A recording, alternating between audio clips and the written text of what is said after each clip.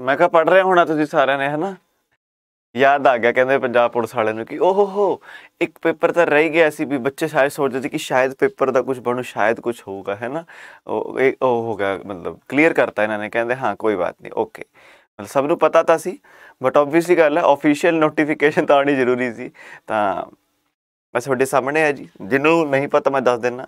ਤਾਂ ਪਿਛਲੇ ਸਾਲ 12 ਸਤੰਬਰ ਤੋਂ ਲੈ ਕੇ 19 ਸਤੰਬਰ 12 ਸਤੰਬਰ 19 ਸਤੰਬਰ ਤੇ 28 ਸਤੰਬਰ ਨੂੰ ਪੇਪਰ ਹੋਇਆ ਸੀਗਾ ਪੰਜਾਬ ਪੁਲਿਸ ਦਾ, ਹੈੱਡ ਕਾਂਸਟੇਬਲ ਦਾ। ਤੇ ਉਹ ਪੇਪਰ ਵੀ ਹੁਣ ਕਹਿੰਦੇ ਕੈਨਸਲ ਕਰਤਾ ਹੈ ਕਿਉਂਕਿ ਕਹਿੰਦੇ ਉਹਦੇ ਵਿੱਚ ਸਾਨੂੰ ਚੀਟਿੰਗ ਚੂਟਿੰਗ ਦੇਖਣ ਨੂੰ ਮਿਲੀ ਸੀ। ਮਤਲਬ ਸਾਨੂੰ ਸਾਰਿਆਂ ਨੂੰ ਪਤਾ ਸੀਗਾ, ਮਤਲਬ ਮੁੱਖ ਦੀ ਗੱਲ ਕੀ ਹੋ ਕਿੰਨੇ ਪੇਪਰ ਲੈਣਾ ਸਰਕਾਰ ਨੇ ਕਾਂਸਟੇਬਲ ਦਾ ਲਿਆ, ਹੈੱਡ ਕਾਂਸਟੇਬਲ ਲਿਆ, ਸਬ ਇੰਸਪੈਕਟਰ ਲਿਆ, ਟੈਕਨੀਕਲ ਸਪੋਰਟ ਸਰਵਿਸ, ਕਾਡਰ ਦਾ ਲਿਆ ਤੇ civil civilian civil service civilian service staff ਵਾਲਾ ਲਿਆ, ਹੈ ਨਾ? ਤੇ ਸਿਰੇ ਕਿਹੜਾ ਚੜਾ ਇੱਕ ਪੇਪਰ, ਕਿਹੜਾ ਵਾਲਾ? ਕਾਂਸਟੇਬਲ ਵਾਲਾ, ਬਾਕੀ ਸਾਰੇ? ਹਾਂ, ਇਹ ਵੀ ਇਹਨਾਂ ਨੂੰ ਯਾਦ ਆ ਗਿਆ, ਕਹਿੰਦੇ ਚਲੋ ਮਾੜੀ ਜੀ। ਦੱਸ ਦਈਏ ਇਹਨਾਂ ਨੂੰ ਕਿ ਹਾਂ ਯਾਰ, ਠੀਕ ਹੈ, ਤੁਸੀਂ ਜੋ ਸੋਚ ਰਹੇ ਹੋ, ਬਿਲਕੁਲ ਸਹੀ ਸੋਚ ਰਹੇ ਹੋ ਸਹੀ ਤੋਂ ਮੇਰੇ ਕੋਲ ਵਰਡ ਨਹੀਂ ਆ ਰਿਹਾ ਯਾਰ ਮਤਲਬ। ਕੀ ਹੈ ਯਾਰ, ਮਤਲਬ ਮੇਰੇ ਕੋਲ ਸੱਚੀ ਵਰਡ ਨਹੀਂ ਆ ਰਹੇ, ਮਤਲਬ ਠੀਕ ਹੈ ਯਾਰ, ਚਲੋ, ਹੈ ਨਾ? ਚਲੋ ਤਾਂ ਜੀ ਸਾਰਿਆਂ ਨੂੰ ਸਤਿ ਸ਼੍ਰੀ ਅਕਾਲ, ਜੈ ਹਿੰਦ, ਜੈ ਸ਼੍ਰੀ ਰਾਮ ਹਰ ਮਹਾਦੇਵ, ਕੀ ਹਾਲ ਚਾਲ ਸਾਰਿਆਂ ਦਾ? ਤਾਂ ਜੀ, ਪੇਪਰ ਹੋ ਗਿਆ ਕੈਨਸਲ ਹੈ ਨਾ? ਪੰਜਾਬ ਪੁਲਿਸ ਵਾਲਾ, ਨਾ, ਹਾਂ, ਇੱਕ ਹੋਰ, ਸ਼ਾਇਦ ਕਹਿੰਦੇ ਦੁਬਾਰਾ ਤੋਂ ਰੀਐਡਵਰਟਾਈਜ਼ ਹੋਣਗੇ ਪੇਪਰ, ਸ਼ਾਇਦ ਸ਼ਾਇਦ, ਕਿਉਂਕਿ ਕਾਫੀ ਸਾਰੇ ਮੈਂ ਲੋਕਾਂ ਨਾਲ ਗੱਲਬਾਤ ਕੀਤੀ।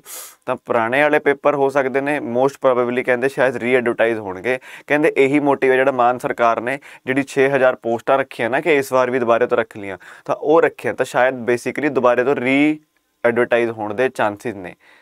ਇਹ ਚਾਂਸਸ ਨੇ, ਠੀਕ ਹੈ ਚਾਂਸਸ ਨੇ, ਠੀਕ ਹੈ? ਤਾਂ ਜੀ ਸ਼ੁਰੂ ਕਰਦੇ ਹਾਂ, ਛੋਟਾ ਜਿਹਾ ਜਿਹੜਾ ਸਟੈਟਿਕ ਜੀਕੇ ਤੋਂ ਆਪਾਂ ਸ਼ੁਰੂ ਕਰਦੇ ਹੁੰਦੇ ਆ ਠੀਕ ਹੈ, ਮੈਂ ਕੱਲ ਤੋਂ ਆਪਾਂ ਗੱਲ ਜਿਹੜੀ ਸ਼ੁਰੂ ਕੀਤੀ ਹੈ, ਛੋਟੀ ਜੀ ਹੈ ਨਾ? ਤਾਂ ਦੋ ਚਾਰ ਚੀਜ਼ਾਂ ਨੇ ਬਹੁਤ ਇੰਪੋਰਟੈਂਟ ਇੰਪੋਰਟੈਂਟ ਪਹਿਲਾਂ ਆ ਦੇਖੋ। ਇਹ ਦੇਖੋ ਸਿੰਪਲ ਸਿੰਪਲ ਮੈਂ ਕਰਾ ਰਿਹਾ ਬਹੁਤ ਹੀ ਬੇਸਿਕ ਵਾਲਾ ਸਟੈਟਿਕ ਜੀ ਕੇ ਐ ਨਹੀਂ ਕਰਾਉਂਗਾ, ਮੈਂ ਤੁਹਾਨੂੰ ਡਾਂਸ ਫਾਰਮ ਕਰਾਉਣ ਲੱਗ ਜਾਊਂਗਾ ਮੈਂ, ਹੈ ਨਾ? ਉਹ ਉਹ ਸਭ ਆਪਣਾ ਕੰਮ ਨਹੀਂ ਕਰਾਉਂਗੇ। ਬਹੁਤ ਹੀ ਬੇਸਿਕ ਜਾ ਠੀਕ ਹੈ? ਅੱਜ ਵੀ 400 ਪਲੱਸ ਕਰ ਦੋਗੇ, ਹੈ? ਉਹਦੇ ਲਈ ਪਹਿਲਾਂ 100 ਤਾਂ ਕਰਨੇ ਪੈਣੇ, ਸ਼ੁਰੂਆਤ ਤਾਂ ਕਰ ਦੋ ਲਾਈਕ ਦੀ, ਹੈ ਨਾ? ਚਲੋ। ਤਾਂ ਜੀ ਪਹਿਲਾਂ ਇੱਕ ਮਿੰਟ ਆਪਾਂ ਨੋਟ ਖੋਲ ਉਹ ਵਧੀਆ ਤਰੀਕੇ ਨਾਲ ਨਾ ਆਪਾਂ ਲਾਈਨ ਲਕੀਰਾਂ ਲੁਕੀਰਾਂ ਵੀ ਲਾ ਸਕਦੇ ਆ ਫਿਰ।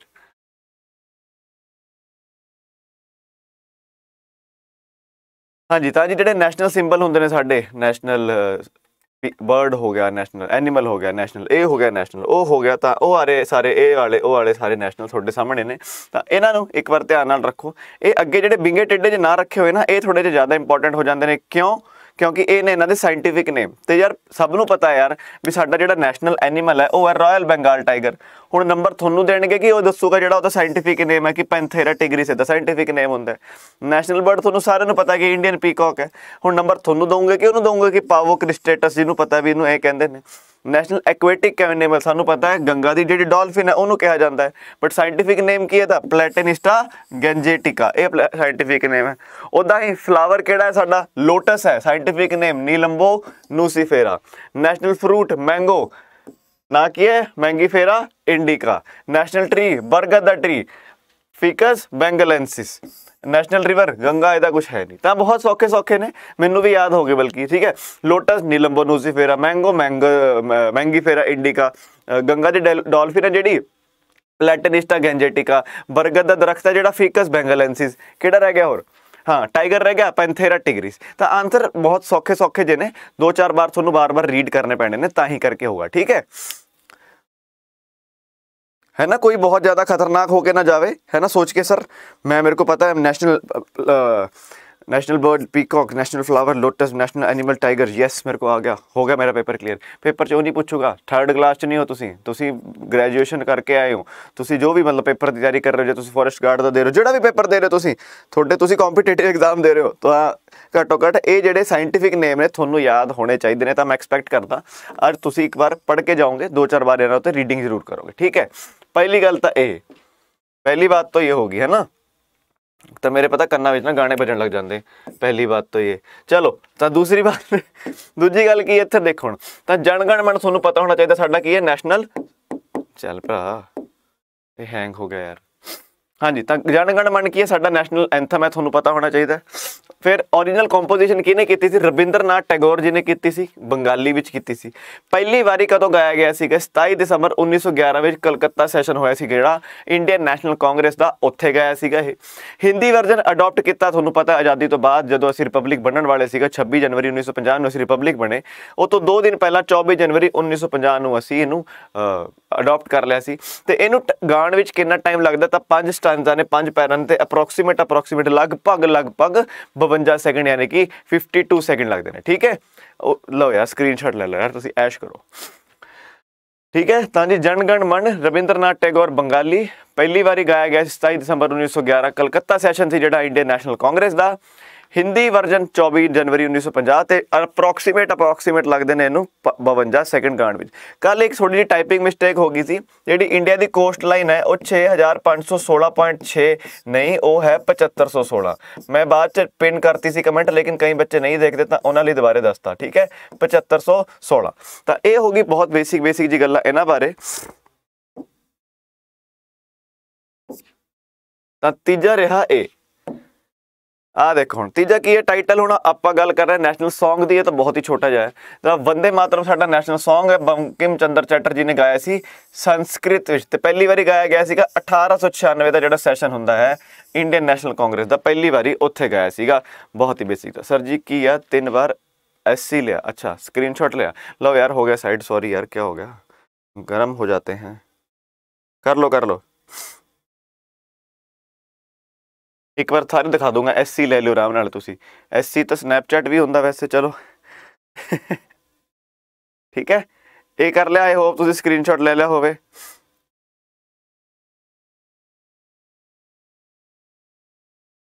ਤੇ 1896 ਵਿੱਚ ਵੀ ਨਾ ਕਲਕੱਤਾ ਸੈਸ਼ਨ ਸੀਗਾ।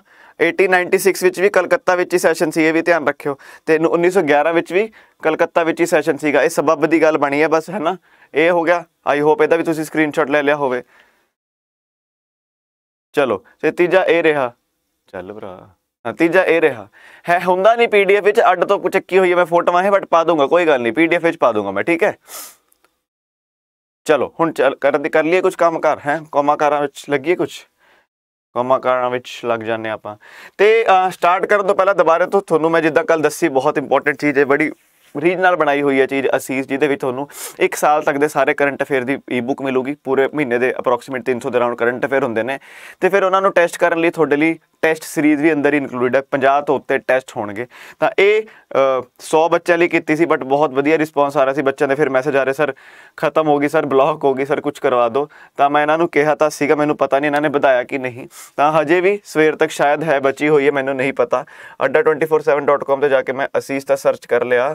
ਸਰਚ ਜਿਹੜਾ ਹੋਇਆ ਨਹੀਂ, ਤੇ, ਹਾਂ A S E E S ਮੈਨੂੰ ਨਹੀਂ ਪਤਾ ਯਾਰ ਹੁਣ ਚੱਲ ਰਿਹਾ ਹੋਣਾ 200 ਰੁਪਏ ਚ ਮਿਲ ਰਹੀ ਸੀ ਕੱਲ ਕਿਉਂਕਿ ਵੈਸੇ ਇਹਨਾਂ ਨੇ ਲਾਂਚ ਕੀਤੀ ਸੀ 248 ਚ, ਫਿਰ ਮੈਂ ਥੋੜਾ ਜਿਹਾ ਕਿਹਾ, ਮੈਂ ਕਿਹਾ ਜਿੱਦਾਂ ਇਨੋਗਰਲ ਆਫਰ ਹੁੰਦਾ ਸਟਾਰਟਿੰਗ ਵਾਲਾ ਆਫਰ ਉਦਾਂ ਕਰ ਦੋ ਕੁਝ ਤਾਂ Y383S ਤਾਂ ਜੀ Y383S ਲਾ ਕੇ ਹਜੇ ਵੀ ਇਹ 200 ਦੀ ਹੈ, ਜੇ ਕਿਸੇ ਨੇ ਐਨਰੋਲ ਕਰਾਉਣਾ ਹੋਵੇ ਕਰ ਲਵੇ, ਕਿਉਂਕਿ ਜਦੋਂ ਹੀ ਟੀਮ ਆਊਗੀ, ਉਹ ਬੰਦ ਕਰ ਦੂਗੀ। ਇਹਦਾ ਪ੍ਰਾਈਸ ਇਹ ਤੋਂ ਬਾਅਦ 248 ਹੋ ਜਾਊਗਾ ਡਿਸਕਾਊਂਟ ਕੋਡ ਤੁਹਾਡੇ ਸਾਹਮਣੇ Y383S ਸਾਲ ਭਰ ਦੇ ਕਰੰਟ ਅਫੇਅਰ ਦੀ ਪੀਡੀਐਫ ਮਿਲੂਗੀ ਈ-ਬੁੱਕਸ ਹੋਣਗੇ ਤੇ ਨਾਲ ਨਾਲ ਤੁਹਾਨੂੰ ਸਭ ਤੋਂ ਵਧੀਆ ਗੱਲ ਤਾਂ ਇਹ ਹੈ ਕਿ ਇਹਦੇ ਅੰਦਰ ਟੈਸਟ ਸੀਰੀਜ਼ ਮਿਲਣਗੇ 50 ਤੋਂ ਉੱਤੇ ਟੈਸਟ ਹੋਣਗੇ। ਚਲੋ, ਤਾਂ ਜੀ ਕਰ ਕੀਰੀ ਜਾਏ, ਅੱਜ ਦੀ ਕਲਾਸ ਸ਼ੁਰੂ? ਪਹਿਲਾ ਸਵਾਲ ਤੁਹਾਡੇ ਅੱਗੇ ਇਹ ਰਿਹਾ। ਤਾਂ ਜੀ ਇੰਡੀਆ ਨੇ ਕਿਹੜੀ ਕੰਟਰੀ ਨਾਲ ਇੱਕ ਐਮਓਯੂ ਸਾਈਨ ਕੀਤਾ for establishing cheetah into a historical range in India ਤਾਂ ਕਿਹਦੇ ਨਾਲ ਕੀਤਾ tie up South Africa Nigeria Namibia ਫਿਰ Sudan PPSC assistant district attorney ਲਈ ਜੀਕੇ ਸਫੀਸ਼ੀਐਂਟ ਹੈ। ਯਾਰ ਮੈਨੂੰ ਤਾਂ ਯਾਰ ਪੈਟਰਨ ਨਹੀਂ ਪਤਾ ਯਾਰ ਸੌਰੀ ਹੈ ਨਾ ਯਾਰ। ਮਹਾਪੈਕ ਚ ਸ਼ੋ ਹੋ ਜੂਗੀ, ਹਜੇ ਅਜੇ ਤਾਂ ਯਾਰ 27 ਜੁਲਾਈ ਨੂੰ ਸ਼ੋ ਹੋਣੀ ਹੈ ਸਭ ਕੁਝ ਹੀ। ਮਹਾਪੈਕ ਚ ਸਭ ਕੁਝ ਸ਼ੋ ਹੋਗੇ ਜੇ ਕਿਸੇ ਕੋਲ ਸ਼ੋ ਨਹੀਂ ਹੋ ਰਹੀ, ਉਹ ਇੱਕ ਵਾਰ ਸਪੋਰਟ ਤੇ ਮੇਲ ਪਾ ਦਿਓ ਟੈਗ ਕਰ ਦਿੰਦੇ ਨੇ, ਵੱਡੀ ਕੋਈ ਗੱਲ ਹੁੰਦੀ ਨਹੀਂ। ਆਨਸਰ ਬਿਲਕੁਲ ਠੀਕ ਹੋ ਜਾਂਦਾ ਨਮੀਬੀਆ। ਆ ਜਾ ਹੁਣ ਇੱਥੇ ਧਿਆਨ ਦੇਣ ਸ਼ੁਰੂ ਕਰ ਦਿਓ। ਚਲੋ, ਅਗਲਾ। 2877 ਕਹਿੰਦੇ electric vehicle charging station sanction ਕਰਤੇ ਕਹਿੰਦੇ across the country under phase 2 of FAME ਇਹ ਕਿਹਨੇ ਕੀਤਾ ਹੈ? ਜਿਹੜੇ minister of heavy industries and ਕੌਣ ਨੇ? ਮਹਿੰਦਰ ਸੌਰੀ ਮਹਿੰਦਰਨਾਥ ਪਾਂਡੇ, ਹਾਂ। ਤਾਂ ਜੀ ਫੇਮ ਇੰਡੀਆ ਸਕੀਮ ਹੈ, ਕਦੋਂ ਲਾਂਚ ਕੀਤੀ ਗਈ ਸੀ? 14 ਚ 15 16 ਜਾਂ ਫਿਰ 17 ਚ? ਹਾਂਜੀ ਹਾਂਜੀ, ਹੋ ਗਏ ਪ੍ਰੈਜ਼ੀਡੈਂਟ ਇਲੈਕਟ ਟੈਨਸ਼ਨ ਨਾ ਲਓ, ਸਭ ਕਰਾ ਦੇਗੇ, ਸਭ ਹੋ ਜਾਏਗਾ, ਸਭ ਸਭ ਧਿਆਨ ਰੱਖੇਗਾ ਤੇਰਾ ਫੈਜ਼ਲ ਟੈਨਸ਼ਨ ਨਹੀਂ ਲੈਣੀ, ਹੈ ਨਾ? ਚਲੋ ਆਨਸਰ ਇਹਦਾ ਬਿਲਕੁਲ ਠੀਕ ਹੈ ਜੀ 2015 ਹੋ ਜਾਂਦਾ ਹੈ, ਕੋਈ 2015 ਵਾਲੀ ਸਾਰੇ, ਚਲੋ, ਅਗਲਾ। ਅ ਡਰਾਟ ਰੈਜ਼ਿਸਟੈਂਟ ਕਹਿੰਦੇ ਜੀ, ਸੋਕਾ ਜਿਹੜਾ ਸੋਕਾ ਹੁੰਦਾ ਉਹ ਤੋਂ ਬਚਣ ਵਾਲੀ, ਬਚੀ ਹੋਈ, ਬਚਾ ਕੇ ਰੱਖਦੀ ਹੈ। ਤਾਂ, ਤੇ ਇੱਕ ਕੁਝ ਐਡੀਟਿੰਗ ਵਾਲੀ ਕਹਿੰਦੇ, ਇੱਕ ਤਰ੍ਹਾਂ ਦਾ ਝੋਨਾ ਲਾਉਂਗੇ ਤੁਹਾਡੇ ਲਈ ਰਾਈਸ ਟ੍ਰੇਨ ਆਊਗੀ। It will be available for field evaluation by kharif ਕਿਹੜਾ ਸਾਲ? 2023 24 25 ਜਾਂ ਫਿਰ ਇਸ ਸਾਲ ਹੀ 2022 ਵਿੱਚ ਹੀ। ਕਹਿੰਦੇ ਜੀ ਜਨਰਲ ਪਬਲਿਕ ਲਈ 2026 ਤੱਕ ਹੋ ਜਾਊਗਾ। ਸਾਡੇ ਜਿਹੜੇ ਫਾਰਮਰ ਮਿਨਿਸਟਰ ਨੇ, ਕਿ ਨਾਮ ਉਹਨਾਂ ਦਾ? ਨਰਿੰਦਰ ਸਿੰਘ ਤੋਮਰ, ਉਹਨਾਂ ਨੇ ਗੱਲ ਦੱਸੀ ਹੈ ਪਾਰਲੀਮੈਂਟ ਦੇ ਸੈਸ਼ਨ ਵਿੱਚ। ਤਾਂ ਦੱਸੋ ਮੈਨੂੰ ਕਿਹੜੇ ਸਾਲ ਤੱਕ ਇਹਨੂੰ ਇਵੈਲੂਏਸ਼ਨ ਲਈ ਆ ਜੂਗੀ ਇਹ? ਤਾਂ ਬਿਲਕੁਲ ਠੀਕ ਹੈ 2024 2023 ਮਤਾ ਨਹੀਂ ਕਿਉਂ ਕਰ ਰਹੇ ਹੋ ਤੁਸੀਂ ਆਨਸਰ ਮਤਲਬ ਤੁਸੀਂ ਕਲਾਸ ਨਹੀਂ ਲਾ ਰਹੇ। ਦੇਖੋ ਯਾਰ, ਬਹੁਤ ਹੀ ਛੋਟੀ ਜੀ ਗੱਲ ਕਹੀ ਹੈ ਮੈਂ। ਇਹ ਵਾਲੀ ਤੁਸੀਂ ਇੱਕ ਕਲਾਸ ਲਾਓ ਤੇ ਕੋਈ ਪੇਪਰ ਅਟੈਂਪਟ ਕਰ ਲਓ, ਕੋਈ ਚੱਕ ਲਓ। ਅੱਜ ਕੱਲ ਜੇ ਚੱਲ ਰਿਹਾ ਹੋਵੇ, ਬੈਂਕ ਦਾ ਕੋਈ ਚੱਲ ਰਿਹਾ ਪੇਪਰ ਚੱਕ ਲਓ, ਸਵਾਲ ਨਾ ਹੈ ਮੇਰਾ ਨਾਮ ਬਦਲ ਦਿਓ ਕੁਝ ਵੀ ਰੱਖ ਲਿਓ। ਚਲੋ, ਅਗਲਾ, ਤਾਂ, ਅੱਛਾ। ਠੀਕ ਹੈ ਜੀ। ਜਵਾਹਰ ਲਾਲ ਨਹਿਰੂ ਪੋਰਟ ਬਣ ਚੁੱਕਿਆ, ਪਹਿਲਾ 100% ਲੈਂਡ ਲਾਰਡ ਮੇਜਰ ਪੋਰਟ ਜਿਹਦਾ ਕੰਮ ਕਰ ਰਿਹਾ ਸਾਰੀ ਦੇ ਸਾਰੇ ਬਰਥ ਨੇ ਪਬਲਿਕ ਪ੍ਰਾਈਵੇਟ ਪਾਰਟਨਰਸ਼ਿਪ ਮਾਡਲ ਉੱਤੇ। ਇਹ ਹੈ ਕਿੱਥੇ? ਪਤਾ ਤਾਂ ਹੋਣਾ ਚਾਹੀਦਾ ਹੈ ਕਿੱਥੇ? ਪੂਨੇ ਮੁੰਬਈ, ਵਿਸ਼ਾਖਾਪਟਨਮ ਜਾਂ ਫਿਰ ਕੋਚੀ। पुणे, मुंबई, विशाखापट्टनम या फिर कोची दसो छेती छेती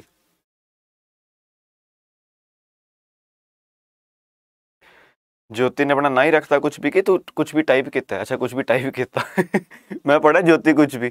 चलो आंसर ऐसा हो जाता है मुंबई, ठीक है? महाराष्ट्र तो बहुत बढ़िया आई एम हनी वाली है बट मुंबई, है ना? चलो। चलो ਚਲੋ ਚਲੋ, ਠੀਕ ਹੈ, ਮੁੰਬਈ ਹੋ ਜਾਂਦਾ ਆਨਸਰ ਇਹਦਾ, ਬਹੁਤ ਬੇਸਿਕ ਬੇਸਿਕ ਜ਼ਿਆਦਾ ਔਖੇ ਨਹੀਂ ਹੈ।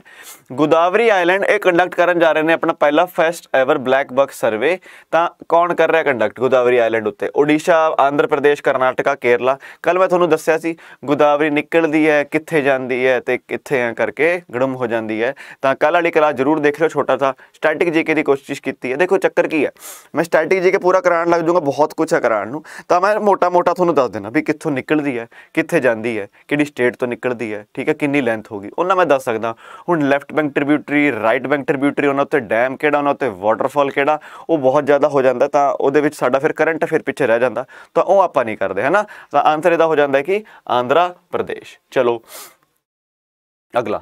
ਪ੍ਰਾਈਮ ਮਿਨਿਸਟਰ ਨਰਿੰਦਰ ਮੋਦੀ ਨੇ ਉਦਘਾਟਨ ਕੀਤਾ ਸਪ੍ਰਿੰਟ ਚੈਲੰਜ ਦਾ, ਜਿਹੜਾ ਕਿ ਏਮ ਕਰਦਾ to at giving a boost to usage of ਕਹਿੰਦੇ ਜਿਹੜੀ ਇੰਡੀਆ ਵਿੱਚ ਬਣੀ ਹੋਈ ਟੈਕਨੋਲੋਜੀ ਹੈ ਕਿਨਾਂ ਲਈ? ਕਹਿੰਦੇ ਉਹਨੂੰ ਕਿਹਾ ਵੀ ਤੁਸੀਂ ਇਹ ਇੰਡੀਆ ਵਾਲੀ ਬਣੀ ਹੋਈ ਟੈਕਨੋਲੋਜੀ ਨੂੰ ਯੂਜ਼ ਕਰੋ ਕਿਨਾਂ ਲਈ? ISRO Indian army Indian navy ਜਾਂ ਫਿਰ ਡੀਆਰਡੀਓ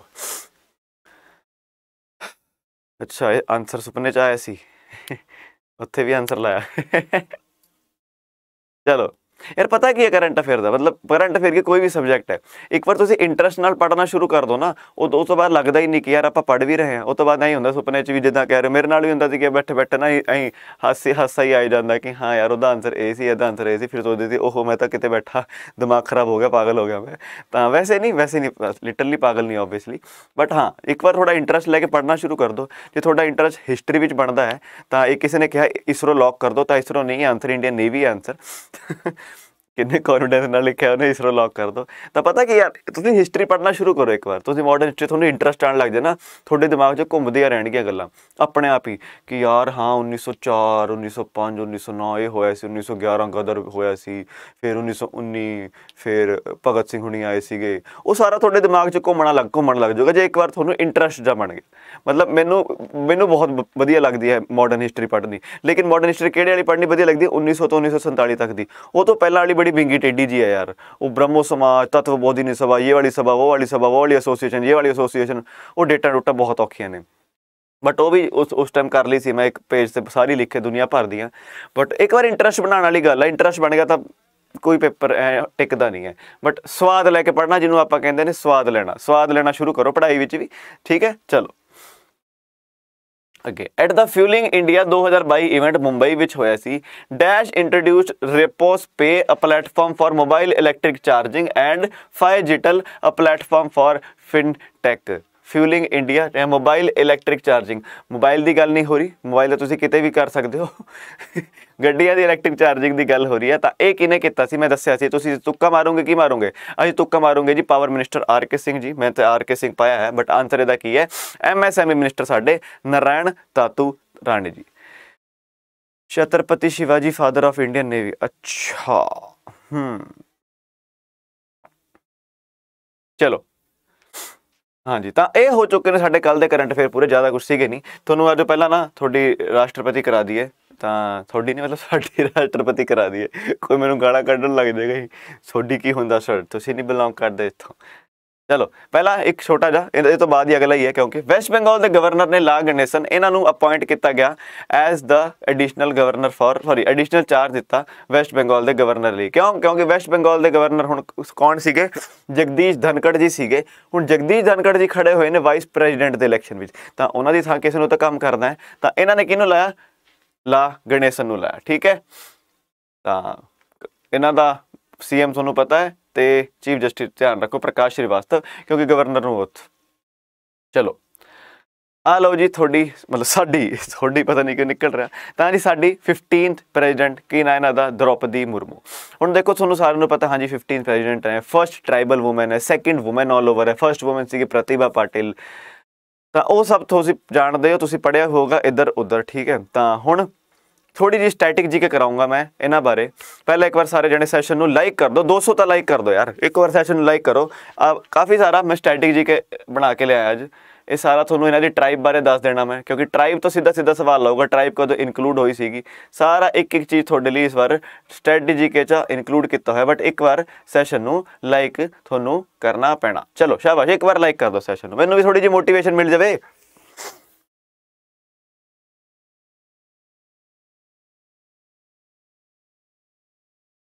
ਮੈਂ ਖੜ, ਮੈਂ ਵੀ ਖੜਾ ਹਾਂ ਯਾਰ, ਮੈਂ ਵੀ ਬਸ ਖੜਾ ਹਾਂ ਮੈਂ ਵੀ। 200 200 200 ਨਹੀਂ ਹੁੰਦੇ। ਇਹਨੂੰ ਦੇਖ ਕੇ ਹੁਣ ਸਾਇਆ ਜਨਤਾ ਨੂੰ। ਪ੍ਰੈਜ਼ੀਡੈਂਟ ਦਾ ਵਜਨ ਕਿੰਨਾ ਹੈ? ਵਾਹ ਵਾਹ ਵਾਹ। ਤੇਜਿੰਦਰ ਤੇਜੀ ਦਾ ਸਵਾਲ ਸੁਣੋ। ਪ੍ਰੈਜ਼ੀਡੈਂਟ ਦਾ ਕਹਿੰਦੇ ਵਜਨ ਕਿੰਨਾ ਹੈ? ਮੁਰਮੂ ਹੋਰਾਂ ਦੀ ਸਮਾਈਲ। ਚਲੋ, ਹੁਣ ਸ਼ੁਰੂ ਕਰਦੇ ਦੋਸਤੋ ਕੇ ਬਹੁਤ ਬਹੁਤ ਧੰਨਵਾਦ। ਤੁਹਾਨੂੰ ਸ਼ੁਰੂ ਕਰਦੇ ਹਾਂ। ਪਹਿਲੀ ਗੱਲ, ਦ੍ਰੋਪਦੀ ਮੁਰਮੂ ਇਹਨਾਂ ਦਾ ਨਾਮ ਹੈ। 15th ਪ੍ਰੈਜ਼ੀਡੈਂਟ ਬਣੀ ਹੈ। ਮਤਲਬ ਜੇ ਤੁਸੀਂ ਵੈਸੇ ਲਿਸਟ ਦੇਖੋ ਤਾਂ ਤੁਹਾਨੂੰ ਬਹੁਤ ਸਾਰੇ ਦਿਖੋਗੇ। ਬਟ ਕਈ ਵਾਰੀ ਹੋਇਆ ਕੋਈ ਐਕਟਿੰਗ ਪ੍ਰੈਜ਼ੀਡੈਂਟ ਬਣ ਗਿਆ, ਕੋਈ ਦੁਬਾਰੇ ਦੁਬਾਰੇ ਤਾਂ ਬਣੇ ਨਹੀਂ। ਤਾਂ ਐਕਟਿੰਗ ਪ੍ਰੈਜ਼ੀਡੈਂਟ ਬਣੇ, ਰਾਜਿੰਦਰ ਪ੍ਰਸਾਦ ਜੀ ਦੁਬਾਰੇ ਬਣੇ ਸੀਗੇ। ਮਤਲਬ ਮੋਸਟਲੀ ਹੁੰਦੇ ਨੇ, ਠੀਕ ਹੈ? ਲਿਸਟ ਤੁਸੀਂ ਦੇਖੋਗੇ, ਬਹੁਤ ਸਾਰੇ ਨੇ। ਬਟ ਆਲ ਓਵਰ 15 ਪ੍ਰੈਜ਼ੀਡੈਂਟ ਨੇ। ਇਹ ਤੋਂ ਪਹਿਲਾਂ ਕੌਣ ਸੀਗਾ? ਤੁਹਾਨੂੰ ਪਤਾ ਹੋਣਾ ਚਾਹੀਦਾ, ਉਹ ਸੀਗੇ ਪਹਿਲੇ ਦਲਿਤ ਪ੍ਰੈਜ਼ੀਡੈਂਟ ਇੰਡੀਆ ਦੇ ਰਾਮਨਾਥ ਕੋਵਿੰਦ ਜੀ। ਤੇ ਇਹ ਬਣੀ ਹੈ ਪਹਿਲੀ ਟ੍ਰਾਈਬਲ ਔਮਨ ਤੇ ਸੈਕੰਡ ਔਮਨ ਓਵਰਆਲ ਪਹਿਲੀ ਔਮਨ ਕੌਣ ਸੀਗੀ? ਪ੍ਰਤਿਭਾ ਪਾਟਿਲ ਸੀਗੀ, ਜਿਹੜੀ ਸਾਡੀ ਬਣੀ ਸੀਗੀ ਪ੍ਰੈਜ਼ੀਡੈਂਟ ਹੁਣ ਦੇਖੋ, ਇਹ ਬਿਲੋਂਗ ਕਰਦੀ ਹੈ ਸੰਥਲ ਟ੍ਰਾਈਬ ਤੋਂ। ਹੁਣ ਸੰਥਲ ਟ੍ਰਾਈਬ ਸੰਥਾਲੀ ਲੈਂਗੁਏਜ ਦੋਨੇ ਸਾਡੇ ਲਈ ਬਹੁਤ ਇੰਪੋਰਟੈਂਟ ਹੋ ਜਾਂਦੀ ਆ। ਇਹ ਸੰਥਲ ਟ੍ਰਾਈਬ ਹੈ ਜਿਹੜੀ ਇੰਡੀਆ ਦੀ ਤੀਜੀ ਸਭ ਤੋਂ ਵੱਡੀ ਟ੍ਰਾਈਬ ਹੈ। ਸਭ ਤੋਂ ਵੱਡੀ ਟ੍ਰਾਈਬ ਕਿਹਾ ਜਾਂਦਾ ਭੀਲ ਟ੍ਰਾਈਬ ਨੂੰ। ਦੂਜੇ ਨੰਬਰ ਤੇ ਆਂਦੀ ਹੈ ਗੋਂਦ ਟ੍ਰਾਈਬ ਤੇ ਤੀਜੇ ਨੰਬਰ ਤੇ ਆਂਦੀ ਹੈ ਕਿਹੜੀ? ਸੰਥਲ ਟ੍ਰਾਈਬ ਲਿਖ ਲਓ ਆਪਣੇ ਆਪ, ਇਹ ਪੀਪੀਟੀ ਚ ਨਹੀਂ ਹੈ, ਮੈਂ ਆਪਣੇ ਆਪ ਦੱਸ ਰਿਹਾ, ਠੀਕ ਹੈ? ਤਾਂ ਭੀਲ ਟ੍ਰਾਈਬ ਫਿਰ ਗੋਂਦ ਟ੍ਰਾਈਬ ਤੇ ਤੀਜੇ ਨੰਬਰ ਸਭ ਤੋਂ ਵੱਡੀ ਟ੍ਰਾਈਬ ਆਂਦੀ ਹੈ, ਕਿਹੜੀ ਉਹ ਹੁੰਦੀ ਹੈ ਸੰਥਲ ਟ੍ਰਾਈਬ ਹੁਣ ਸੰਥਲ ਟ੍ਰਾਈਬ ਬਾਰੇ ਗੱਲ ਸੁਣਦੇ ਆਪਾਂ।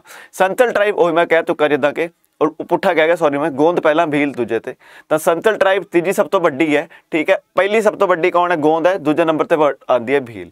ਹੁਣ ਸੰਤਲ ਜਿਹੜਾ ਸ਼ਬਦ ਹੈ, ਇਹ ਦੋ ਵਰਡ ਤੋਂ ਬਣਿਆ, ਇੱਕ ਹੈ ਸੰਥਾ, ਜਿਹਦਾ ਮਤਲਬ ਹੈ ਸ਼ਾਂਤ, ਕਾਮ ਤੇ ਪੀਸਫੁਲ ਐਂਡ ਅਲਾ ਮੀਨਸ ਮੈਨ ਤਾਂ ਜੀ, ਸ਼ਾਂਤ ਆਦਮੀ, ਇਹਦਾ ਮਤਲਬ ਹੁੰਦਾ ਹੈ, ਸੰਥਲ ਦਾ। ਹੈ ਨਾ? ਬਹੁਤ ਹੀ ਬੇਸਿਕ ਦਾ ਕੁਝ ਜ਼ਿਆਦਾ ਨਵੀਂ ਕੋਈ ਕੱਬੀ ਚੀਜ਼ ਨਹੀਂ ਕਰਾਈ।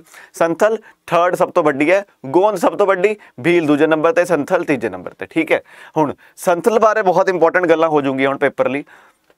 ਸੰਥਲ ਲੋਕ ਨੇ ਆਬਵੀਅਸਲੀ ਸੰਥਾਲੀ ਲੈਂਗੁਏਜ ਬੋਲਦੇ ਨੇ। ਆਪਣੀ ਹੀ ਸਕ੍ਰਿਪਟ ਹੈ ਸਕ੍ਰਿਪਟ ਦਾ ਨਾਮ ਵੀ ਯਾਦ ਰੱਖਣਾ ਹੈ ਓਲਡ ਚਿੱਕੀ। ਪੰਜਾਬੀ ਦੀ ਗੁਰਮੁਖੀ ਹੈ, ਹਿੰਦੀ ਦੀ ਦੇਵਨਾਗਰੀ ਹੈ, ਇੰਗਲਿਸ਼ ਦੀ ਰੋਮਨ ਹੈ। ਉਦਾਂ ਹੀ ਸੰਥਲ ਦੀ ਸਕ੍ਰਿਪਟ ਕੀ ਹੈ?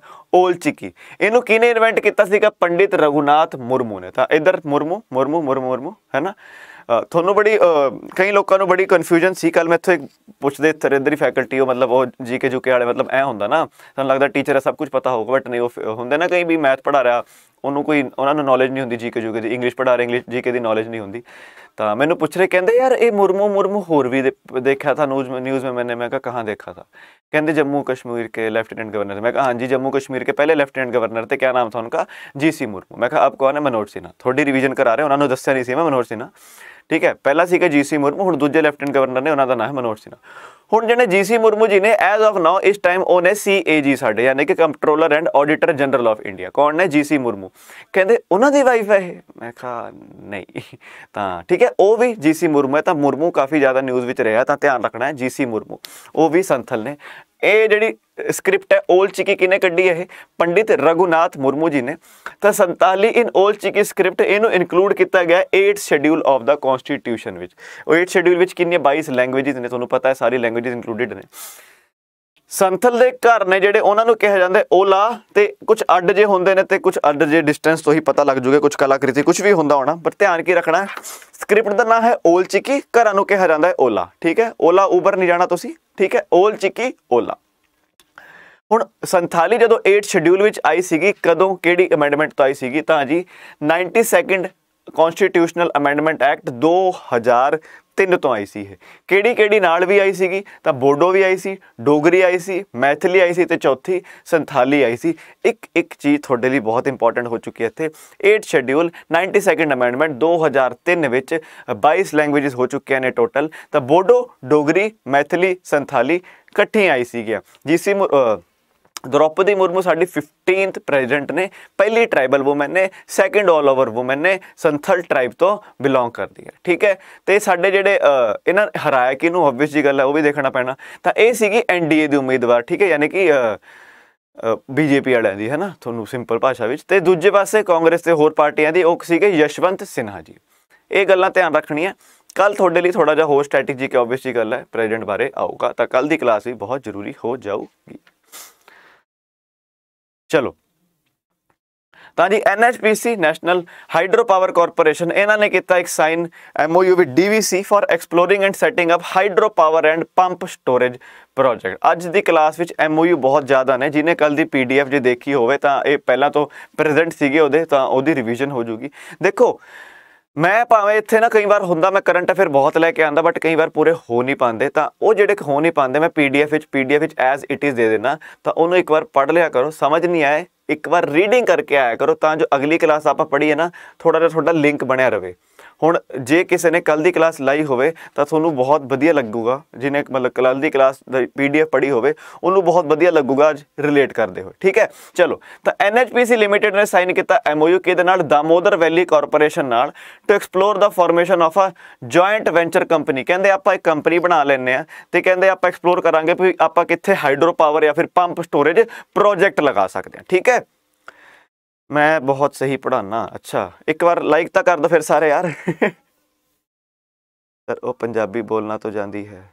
ਹਾਂਜੀ ਯਾਰ ਅੱਧੀ ਤਾਂ ਚੀਜ਼ੇ ਮੇਰੇ ਕੋ ਪਤਾ ਨਹੀਂ ਲੱਗਦੀ ਯਾਰ। ਉਹ ਚੱਕਰ ਕੀ ਹੈ? ਕਮੈਂਟ ਆਂਦੇ ਮੈਂ ਇੱਧਰ ਮੁੜਦਾ, ਇੰਨੇ ਵਿੱਚ ਇੱਧਰ ਮੁੜਦਾ, ਇੰਨੇ ਵਿੱਚ ਉੱਤੇ ਕਿਤੇ। ਠੀਕ ਹੈ? ਚਲੋ। ਤਾਂ ਐਨਐਚਪੀਸੀ ਹਾਈਡਰੋ ਪਾਵਰ ਵਾਲਿਆਂ ਨੇ ਡਮੋਦਰ ਵੈਲੀ ਵਾਲਿਆਂ ਨਾਲ ਕਿਹਾ, ਆਪਾਂ ਕਹਿੰਦੇ ਗਠਬੰਧਨ ਦੀ ਸਰਕਾਰ ਬਣਾਉਂਦੇ ਆ ਤੇ ਆਪਾਂ ਹਾਈਡਰੋ ਪਾਵਰ ਪੰਪ ਪੰਪ ਲਾਇਆ ਕਰਾਂਗੇ ਕਿਤੇ ਰੜ ਕੇ। ਚਲੋ। ਤਾਂ ਐਨਐਚਪੀਸੀ ਬਾਰੇ ਗੱਲਾਂ। 1975 ਫਰੀਦਾਬਾਦ ਹੈੱਡਕੁਆਰਟਰ ਤੇ ਅਭੇ ਕੁਮਾਰ ਸਿੰਘ, ਇਹਦੇ ਸੀਐਮਡੀ ਯਾਨੀ ਕਿ ਚੇਅਰਮੈਨ ਮੈਨੇਜਿੰਗ ਡਾਇਰੈਕਟਰ ਹੋ ਜਾਂਦੇ ਨੇ। ਠੀਕ ਹੈ? ਚੇਅਰਮੈਨ ਮੈਨੇਜਿੰਗ ਡਾਇਰੈਕਟਰ ਹੋ ਜਾਂਦੇ ਨੇ। ਚਲੋ ਪੀਡੀਐਫ ਡੇਲੀ ਕਲਾਸ ਦੀ ਪਹਿਲੀ ਕਮੈਂਟ ਤੇ ਵੀ ਹੁੰਦੀ ਹੈ। National hydro power corporation Mohammad Musad, ਯਾਰ ਤੂੰ ਨਾ ਪੁੱਛ ਯਾਰ ਵੀਰ ਮੇਰੇ, ਯਾਰ ਤੂੰ ਤਾਂ ਮਤਲਬ ਮੈਨੂੰ ਪੜਾਣ ਪੜਾ ਸਕਦਾ ਤੂੰ।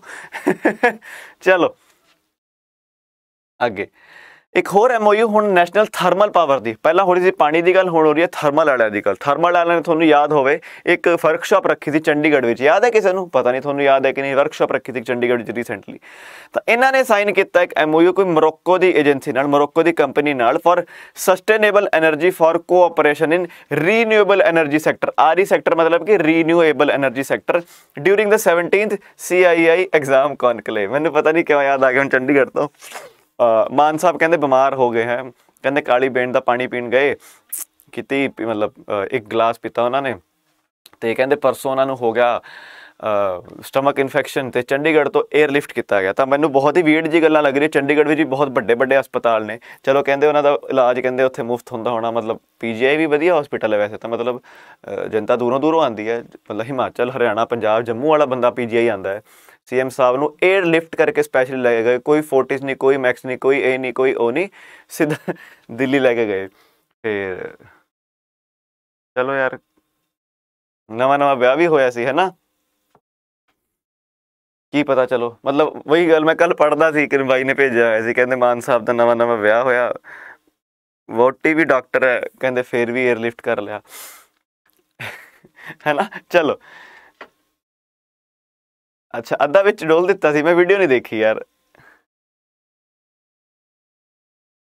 ਅੱਛਾ, ਅਮਨਦੀਪ ਸਿੰਘ ਦਾ ਬਰਥਡੇ ਯਾਰ, ਇੱਕ ਵਾਰ ਯਾਰ ਸਾਰੇ ਜਣੇ ਅਮਨਦੀਪ ਸਿੰਘ ਨੂੰ ਹੈਪੀ ਬਰਥਡੇ ਬੋਲ ਦਿਓ ਯਾਰ। ਹੈਪੀ ਬਰਥਡੇ ਮੇਰਾ ਵੀਰ ਯਾਰ ਹੈ ਨਾ ਹੈਪੀ ਬਰਥਡੇ ਮੇਰਾ ਵੀਰ। ਚਲੋ, ਅੱਗੇ। ਐਨਟੀਪੀਸੀ ਨੇ ਕੀਤਾ ਐਮਓਯੂ ਇੱਕ ਮੋਰੋਕੋ ਦੀ ਏਜੰਸੀ ਨਾਲ ਕਾਦੇ ਲਈ ਕੀਤਾ? ਕਹਿੰਦੇ ਆਪਾਂ ਹੋਰ ਗੱਲਬਾਤ ਕਰੂਗੇ ਰੀਨਿਊਏਬਲ ਐਨਰਜੀ ਸੈਕਟਰ ਵਿੱਚ ਕਿੱਥੇ? 17 ਸੀਆਈਆਈ ਐਕਸਇਮ ਕਨਕਲੇਵ ਸੀਆਈਆਈ ਕੀ ਹੈ? Confederation of Indian industries Exim ਕੀ ਹੈ? ਐਕਸਪੋਰਟ ਇੰਪੋਰਟ ਬੈਂਕ ਹੈ ਨਾ ਠੀਕ ਹੈ ਐਕਸਿਮ ਉਹੀ ਹੈ ਨਾ ਯਾਰ ਇੱਕ ਮਿੰਟ ਰੁਕੋ ਐਕਸਿਮ ਬੈਂਕ ਉਹੀ ਹੈ ਐਕਸਪੋਰਟ ਇੰਪੋਰਟ ਬੈਂਕ ਕਿਤੇ ਹੋਰ ਕੁਝ ਹੋਵੇ ਇੱਕ ਮਿੰਟ ਰੁਕੋ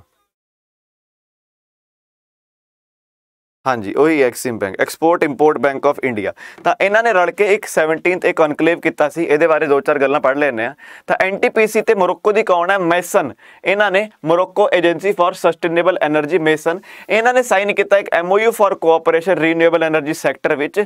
17ਵਾਂ ਸੀਆਈਆਈ ਐਗਜ਼ਿਮ ਕਨਕਲੇਵ ਸੀਗਾ ਇੰਡੀਆ ਅਫਰੀਕਾ ਗਰੋਥ ਉੱਤੇ। ਕਿੱਥੇ ਸੀ ਹੋਇਆ? ਨਿਊ ਦਿੱਲੀ ਠੀਕ ਹੈ, ਕਿੱਥੇ ਸੀ ਹੋਇਆ? ਨਈ ਦਿੱਲੀ ਵਿੱਚ ਹੋਇਆ। ਹੁਣ ਐਨਟੀਪੀਸੀ ਬਾਰੇ ਗੱਲਾਂ ਪੜ੍ਹ ਲਓ। ਪਹਿਲਾਂ ਦੋ ਚਾਰ, ਜਿੱਦਾਂ ਆਪਾਂ ਐਨਐਚਪੀਸੀ ਬਾਰੇ ਪੜ੍ਹੀ ਉਦਾਂ ਹੀ ਐਨਟੀਪੀਸੀ ਵੀ ਬਹੁਤ ਇੰਪੋਰਟੈਂਟ ਆਰਗੇਨਾਈਜੇਸ਼ਨ ਹੈ ਕਾਫੀ ਜ਼ਿਆਦਾ ਨਿਊਜ਼ ਵਿੱਚ ਰਹਿੰਦੀ ਹੈ ਉਹ 75 ਬਣੀ, ਇਹ ਬਣੀ, ਇਹ ਵੀ 75 ਚ ਬਣੀ। ਉਹਦੇ ਅਬੇ ਕੁਮਾਰ ਸਿੰਘ, ਇਹਦੇ ਗੁਰਦੀਪ ਸਿੰਘ। ਦੇਖੋ ਕਿੰਨਾ ਵਧੀਆ। ਉਹ ਫਰੀਦਾਬਾਦ, ਇਹ ਨਈ ਦਿੱਲੀ। ਬਹੁਤ ਬੇਸਿਕ ਬੇਸਿਕ ਹੈ ਨਾ ਕੰਪੇਅਰ ਕਰਕੇ ਜਦੋਂ ਚੱਲੋਗੇ ਨਾ ਐਨਟੀਪੀਸੀ ਥਾ ਐਨਐਚਪੀਸੀ ਤਾਂ ਐਨਐਚਪੀਸੀ ਕੀ ਸੀ? 1975 ਇਹ ਵੀ 75 ਉਹ ਫਰੀਦਾਬਾਦ, ਇਹ ਨਈ ਦਿੱਲੀ। ਉਹ ਅਬੇ ਕੁਮਾਰ ਸਿੰਘ, ਇਹ ਗੁਰਦੀਪ ਸਿੰਘ। ਹੁਣ ਮੈਂ ਦੇਖਿਆ, ਆਪਣੇ ਆਪ ਨੂੰ ਐ ਲੱਗ ਰਿਹਾ, ਮੈਂ ਨੱਚ ਰਿਹਾ ਹਾਂ ਹੈ ਨਾ ਚਲੋ, ਤਾਂ ਇਹ ਦੋ ਚਾਰ ਗੱਲਾਂ।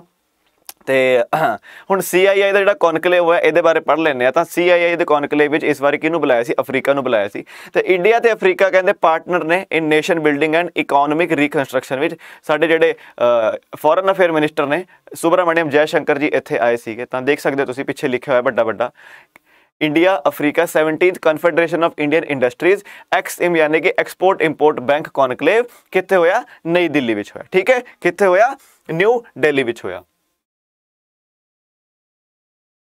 ਤਾਂ ਇੰਡੀਆ ਡਿਵੈਲਪਮੈਂਟ ਪ੍ਰੋਜੈਕਟ ਨੇ ਕਾਫੀ ਤਰ੍ਹਾਂ ਦੇ, ਕਾਫੀ ਸਾਰੀ ਤਰ੍ਹਾਂ ਦੇ ਤਾਂ ਪ੍ਰੋਜੈਕਟਸ ਨੇ ਤਾਂ ਉਹ ਤਾਂ ਪਹਿਲਾਂ ਤੁਸੀਂ ਧਿਆਨ ਰੱਖਣਾ ਹੀ ਹੈ ਕਿ ਐਨਟੀਪੀਸੀ ਨੇ ਮੋਰੋਕੋ ਨਾਲ ਕੀਤਾ। ਬਾਕੀ 올 ਓਵਰ ਦੀ ਗੱਲ ਕਰੀਏ, ਕਹਿੰਦੇ ਇੰਡੀਆ ਕੰਮ ਕਰ ਰਿਹਾ ਉੱਥੇ ਵਾਟਰ ਦੀ ਫੀਲਡ ਵਿੱਚ ਇਰੀਗੇਸ਼ਨ ਕਹਿੰਦੇ ਰੂਰਲ ਸੋਲਰ ਇਲੈਕਟ੍ਰੀਫਿਕੇਸ਼ਨ ਕਰਨਾ ਹੈ ਪਾਵਰ ਪਲਾਂਟ ਮਤਲਬ ਮੋਸਟਲੀ ਹਰ ਤਰ੍ਹਾਂ ਦੀ, ਕਾਫੀ ਸਾਰੀ ਤਰ੍ਹਾਂ ਦੀ ਅਸੀਂ ਹੈਲਪ ਕਰ ਰਹੇ ਹਾਂ। ਕਹਿੰਦੇ ਆਪਾਂ 12.3 ਬਿਲੀਅਨ ਡਾਲਰ ਦਾ ਆਪਾਂ ਲੋਨ ਦੇ ਚੁੱਕੇ ਉਹਨਾਂ ਨੂੰ ਕਿ ਯਾਰ ਤੁਸੀਂ ਐਟਲੀਸਟ ਥੋੜਾ ਬਹੁਤ ਤੁਸੀਂ ਪ੍ਰੋਗਰੈਸ ਕਰੋ। ਤਾਂ ਦੇਖੋ ਇੰਡੀਆ ਹੈਲਪ ਕਿਉਂ ਕਰ ਰਿਹਾ? ਹੁਣ ਇੰਡੀਆ ਦਾ ਕੀ ਬਣਦਾ ਸ਼੍ਰੀਲੰਕਾ ਨਾਲ? ਹੁਣ ਦੇਖੋ ਥੋੜੀ ਜਿਹੀ ਆਊਟ ਆਫ ਕੰਟੈਕਸਟ ਗੱਲ ਜਾਊਗੀ ਬਟ ਸਵਾਦ ਵਾਲੀ ਗੱਲ ਹੈ ਥੋੜੀ ਤਾਂ ਆਊਟ ਆਫ ਕੰਟੈਸਟ ਗੱਲ। ਤਾਂ ਜੀ, ਪਾਕਿਸਤਾਨ ਦਾ ਤੁਹਾਨੂੰ ਜੇ ਪਤਾ ਹੋਵੇ, ਪਾਕਿਸਤਾਨ 'ਚ ਉਹਨਾਂ ਦੇ ਜਿਹੜੇ ਮਿਨਿਸਟਰ ਨੇ ਕਹਿੰਦੇ ਵੀ ਚਾਹ ਚੂ ਘੱਟ ਪੀਆ ਕਰੋ, ਕਿਉਂ? ਕਹਿੰਦੇ ਸਾਡੀ ਜਿਹੜੀ ਚਾਹ ਹੈ, ਸਾਨੂੰ ਕਰਨੀ ਪੈਂਦੀ ਹੈ ਇੰਪੋਰਟ ਤੇ ਸੱਤੂ ਪੀ ਲਿਆ ਕਰੋ, ਕਹਿੰਦੇ ਤੁਸੀਂ। ਤਾਂ ਚਾਹ ਘੱਟ ਪੀਣੀ ਹੈ ਤੁਸੀਂ। ਪੇਪਰ ਕੈਨਸਲ ਕਰਤੇ ਸੀ, ਕਿਉਂ? ਕਹਿੰਦੇ ਸਾਡੇ ਕੋਲ ਕਾਗਜ਼ਾਂ ਦੀ ਕਮੀ ਹੈ। ਪੇਪਰ ਨਹੀਂ ਹੈ ਸਾਡੇ ਕੋਲ। ਐਗਜ਼ਾਮ ਕੈਨਸਲ ਕਰਦੇ ਸੀ, ਕਾਗਜ਼ਾਂ ਦੀ ਕਮੀ ਕਰਕੇ। ਫਿਰ ਹੁਣ ਸ਼੍ਰੀਲੰਕਾ 'ਚ ਗਾ ਪਿਆ ਹੋਇਆ, ਹੈ ਨਾ? ਸ਼੍ਰੀਲੰਕਾ ਪੂਰੀ ਲੁੱਟਣ ਨੂੰ ਹੈ ਕੰਟਰੀ, ਭਾਵੇਂ ਕੋਈ ਜਾ ਕੇ ਹੁਣ ਨਾ ਮੋਦੀ ਜੀ ਜਾਣ 100 ਕਰੋੜ ਬੁੱਥੇ ਤੇ ਮਾਰਨ ਤੇ ਖਰੀਦ ਲੈਣ ਕੰਟਰੀ ਨੂੰ। ਬਟ ਆਪਾਂ ਉਹੀ ਗੱਲ, ਆਪਾਂ ਭਾਰਤੀ ਹੈ, ਹਮ ਭਾਰਤੀ ਹੈ, ਹਮ ਐਸਾ ਕੁਝ ਕਰਾਂਗੇ ਨਹੀਂ। ਠੀਕ ਹੈ? ਤਾਂ ਜੀ, ਦੇਖੋ ਹੁਣ ਆਪਾਂ ਹੈਲਪ ਕਿਉਂ ਕਰ ਰਹੇ? ਸਾਡਾ ਕੀ ਬਣਦਾ? ਪਤਾ ਨਹੀਂ ਆਪਾਂ ਕਿੰਨੇ ਲੱਖਾਂ ਕਰੋੜ ਉਹਨਾਂ ਨੂੰ ਦੇਤੇ ਕਦੇ ਕਹਿੰਦੇ 500 ਮਿਲੀਅਨ ਡਾਲਰ ਕਹਿੰਦੇ ਤੇਲ ਲੈ ਲਓ, ਕਦੇ 500 ਮਿਲੀਅਨ ਡਾਲਰ ਕਹਿੰਦੇ ਜਾ ਕੇ ਤੁਸੀਂ ਏਸ਼ੀਅਨ ਕਿਹੜਾ ਉਹ? ਪਤਾ ਨਹੀਂ ਕਿਹੜਾ ਕਾਉਂਸਲ ਹੁੰਦਾ, ਮੈਂ ਭੁੱਲ ਗਿਆ ਏਸੀਸੀ ਮੈਨੂੰ ਨਾਂ ਨਹੀਂ ਪੂਰਾ ਯਾਦ ਆ ਰਿਹਾ, ਉਹਦੇ ਪੈਸੇ ਮੋੜ ਦਿਓ। ਫਿਰ, ਕਦੇ ਖਾਣਾ ਪੀਣਾ ਖਰੀਦ ਲਓ। ਉਹਨਾਂ ਕੋਲ ਕਿਉਂਕਿ ਬੇਸਿਕ ਚੀਜ਼ਾਂ ਖਤਮ ਹੋ ਚੁੱਕੀਆਂ ਨੇ, ਮਹਿੰਗਾਈ ਦਰ ਇੰਨਾ ਵੱਧ ਚੁੱਕਾ ਹੈ ਬੇਸਿਕ ਚੀਜ਼ਾਂ ਹੋ ਚੁੱਕੀਆਂ ਨੇ, ਖਤਮ, ਬਚਿਆ ਹੀ ਨਹੀਂ ਕੁਝ ਹੁਣ ਅਸੀਂ ਕਿਉਂ ਹੈਲਪ ਕਰ ਰਹੇ ਹਾਂ? ਦੇਖੋ ਹੁਣ। ਦੇਖੋ ਥੋੜੀ, ਦੇਖਿਓ ਤੁਸੀਂ ਨਾ। ਥੋੜਾ ਜਿਹਾ ਤੁਹਾਡੇ ਵੀ ਨਾ ਨੌਲੇਜ ਹੋਣੀ ਚਾਹੀਦੀ ਇਹ ਵਾਲੀ, ਠੀਕ ਹੈ? ਹੁਣ ਇਹ ਹੈ ਇੰਡੀਆ ਠੀਕ ਹੈ? ਇਹ ਇੰਡੀਆ ਹੈ, ਇਹ ਹੈ ਪਾਕਿਸਤਾਨ, ਇਧਰ ਤੱਕ।